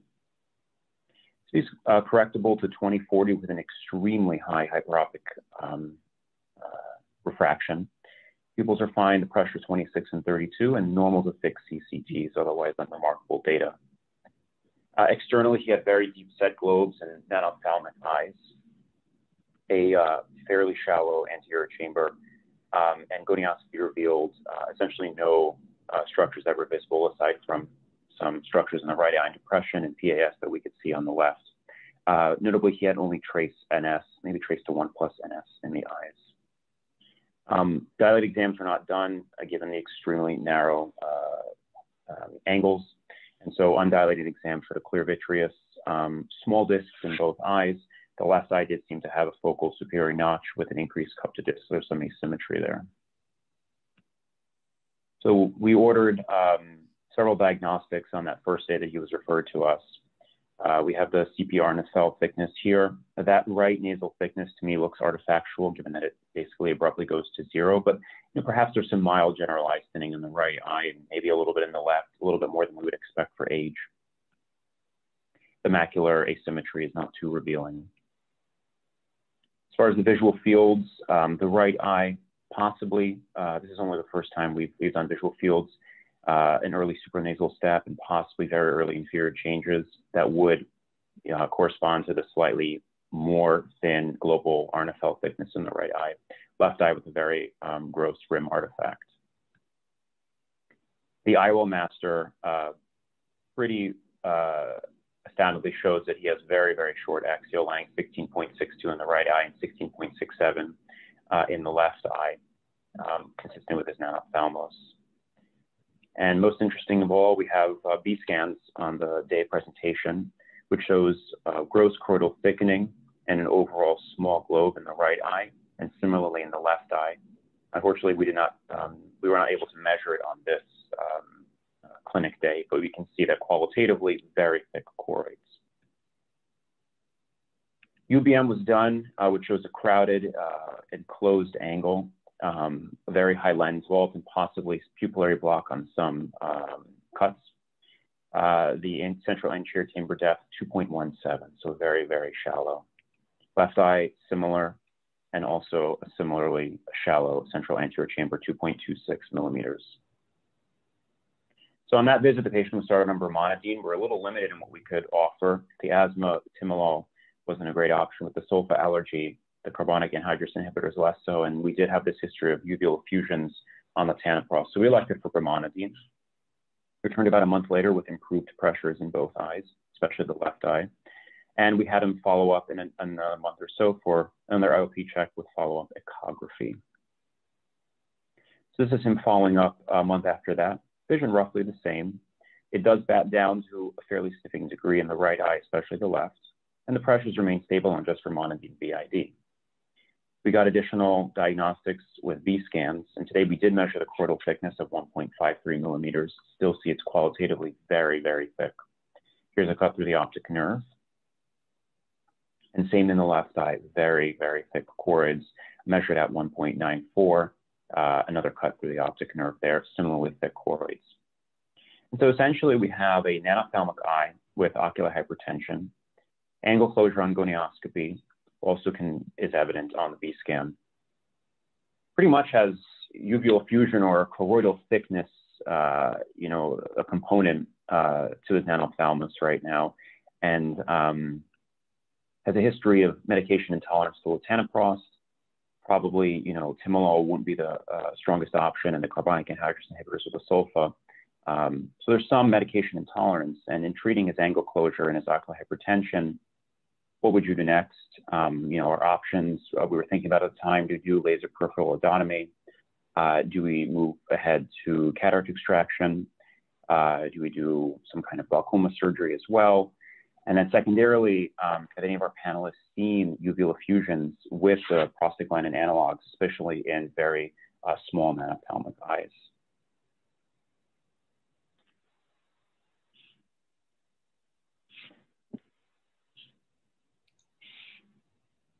So this is a tough one. That's probably an understatement. Um, those axial lengths are extraordinarily small. I've never operated on someone that with that short an eye. Um, and I don't, the uveal effusion thing with latanoprost, I've never seen that either, but um, these patients uh, can get uveal effusions for lots of reasons. And um, I would not, um, I, I, think it's a, a warning sign that you will probably get a uveal effusion with almost anything you do. So I think with that in mind, um, the lens is going to have to come out at some point. And I think the, the, at the point that it seems like it's, the risk is worth it um, because it's only as the cataract gets more dense, it's going to be a really, really tough case. So I would definitely not wait too long to um, proceed with surgery. And if I was going to do surgery, I would definitely put in at least two scleral windows um, at the time of the case. And I would be prepared for um, a difficult procedure. I'd use um, dense viscoelastic um, to make sure I have that on hand. Um, I would have retina backup ready to go. Um, and I'd proceed with caution, but somebody's going to have to do it in order to take care of this patient, is my impression. As far as lens implants, that's going to be the other factor, right? Um, I would never want to do a piggyback on an eye this small. So be sure that you just pick the strongest lens available that you're comfortable with. Um, and, you know, the patient's going to be thrilled no matter what, right? They're plus 14, 15 now. Um, any reduction in that is going to be um, a good thing for them and possibly be able to have contact lens treatment after that. So I agree with uh, Cindy. This is a really tough case. Um, I think you know my approach would be to first do no harm, which is the patient is not in you know a situation right now where you necessarily have to do anything. I found the RNFL OCT actually quite reassuring. I think some of the visual field defects were artifactual. Probably got pretty tired by the time that you got to the left eye with the plus you know 14 uh, diopter lens in front of them um, and probably some rim artifact there. Um, fortunately, there's not a whole lot of astigmatism in this case, so we don't have to worry about that for this one. Um, you know, I, I, you know, the, I would jokingly say I would really wait until the patient has a visually significant cataract as long as the pressure's uh, under control, you know, hoping that they or uh, potentially you had moved by that time and would no longer have to be responsible for this patient. Um, but uh, I, you know, I think you can always make the patient worse. I always try to remind our trainees that. And I think, you know, as much as it's exciting to do a laser iridoplasty, it's cool, it's fun. I just think you're you're playing with fire here. So I'd really wait until, you know, you really have to pull the trigger on something. But I agree that it's it's not going to get easier over time. But Um, I, you know, with the vision being 2030, 2040 right now, uh, the pressure is controlled on medication. Um, I, I'd be pretty happy to just sit for a little bit.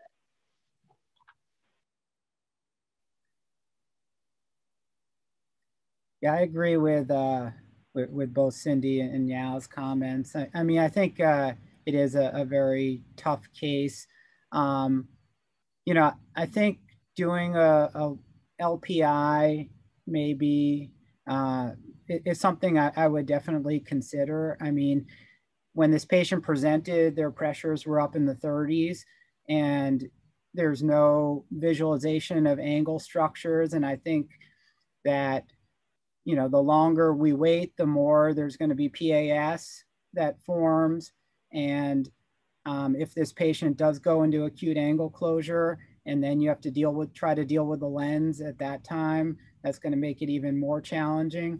So um, I think uh, while there's certainly a risk that the LPI could trigger could trigger malignant glaucoma or uveal effusions or who knows, um, I think that you probably want to do something sooner rather than later um, because it could be a much more challenging situation if you delay and they present in a more challenging state.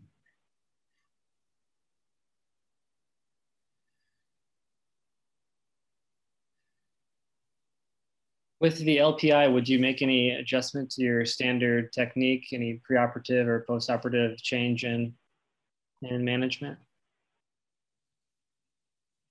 Steroids or something of the sort, Diamox? I don't know. I don't know. I don't have a ton of experience with these these patients. Um, I, I think uh, you just need to watch him very carefully. Um, he's he's not in any blood thinners or anything like that. Um, but you know, I think uh, if you see the pressure goes up immediately afterwards, you know, be, be right on top of that. And um, I think you have to prepare the patient and, and explain that, you know, that additional interventions may be needed uh, either, you know, with medically and or surgically uh, if, you know, if, if uh, things you know, if, if uh, the situation becomes unstable? I would, I would consider the argon laser first before I, I do the YAG for the LPI, just to thin out the tissue and then, then follow up with the YAG. And I think that usually temporizes any kind of postoperative spike too.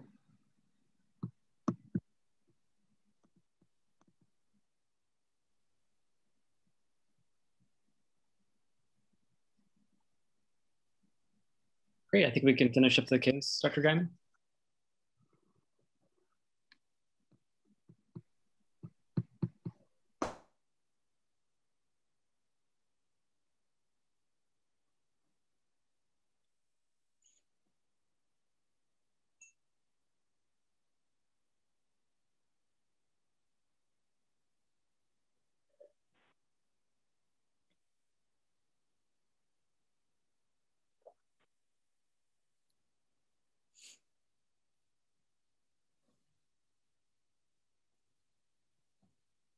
I don't know if we can hear you, Dr. Guyman.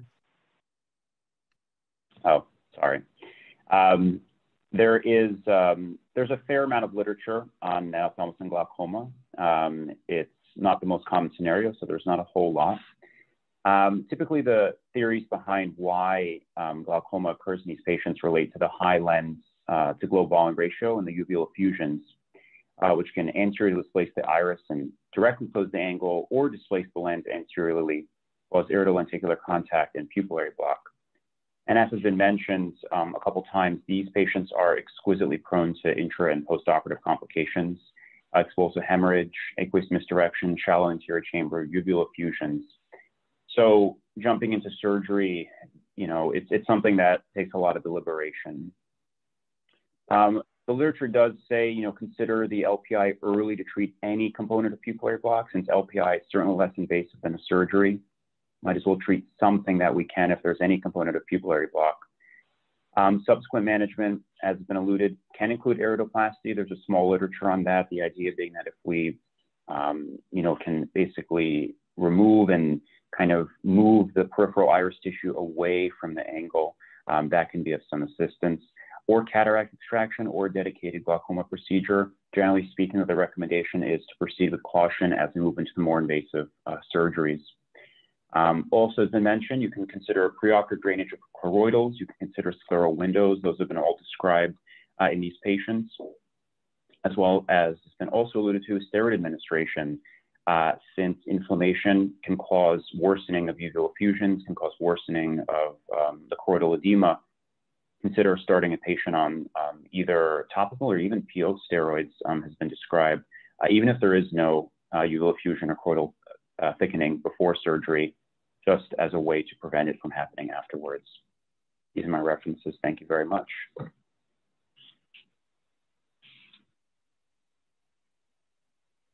Thank you so much to all our amazing resident uh, presentations. Um, if there aren't any pressing questions at this time, then we'll go ahead and turn it back to Thasarat uh, to conclude our work. Thank you, Thasarat.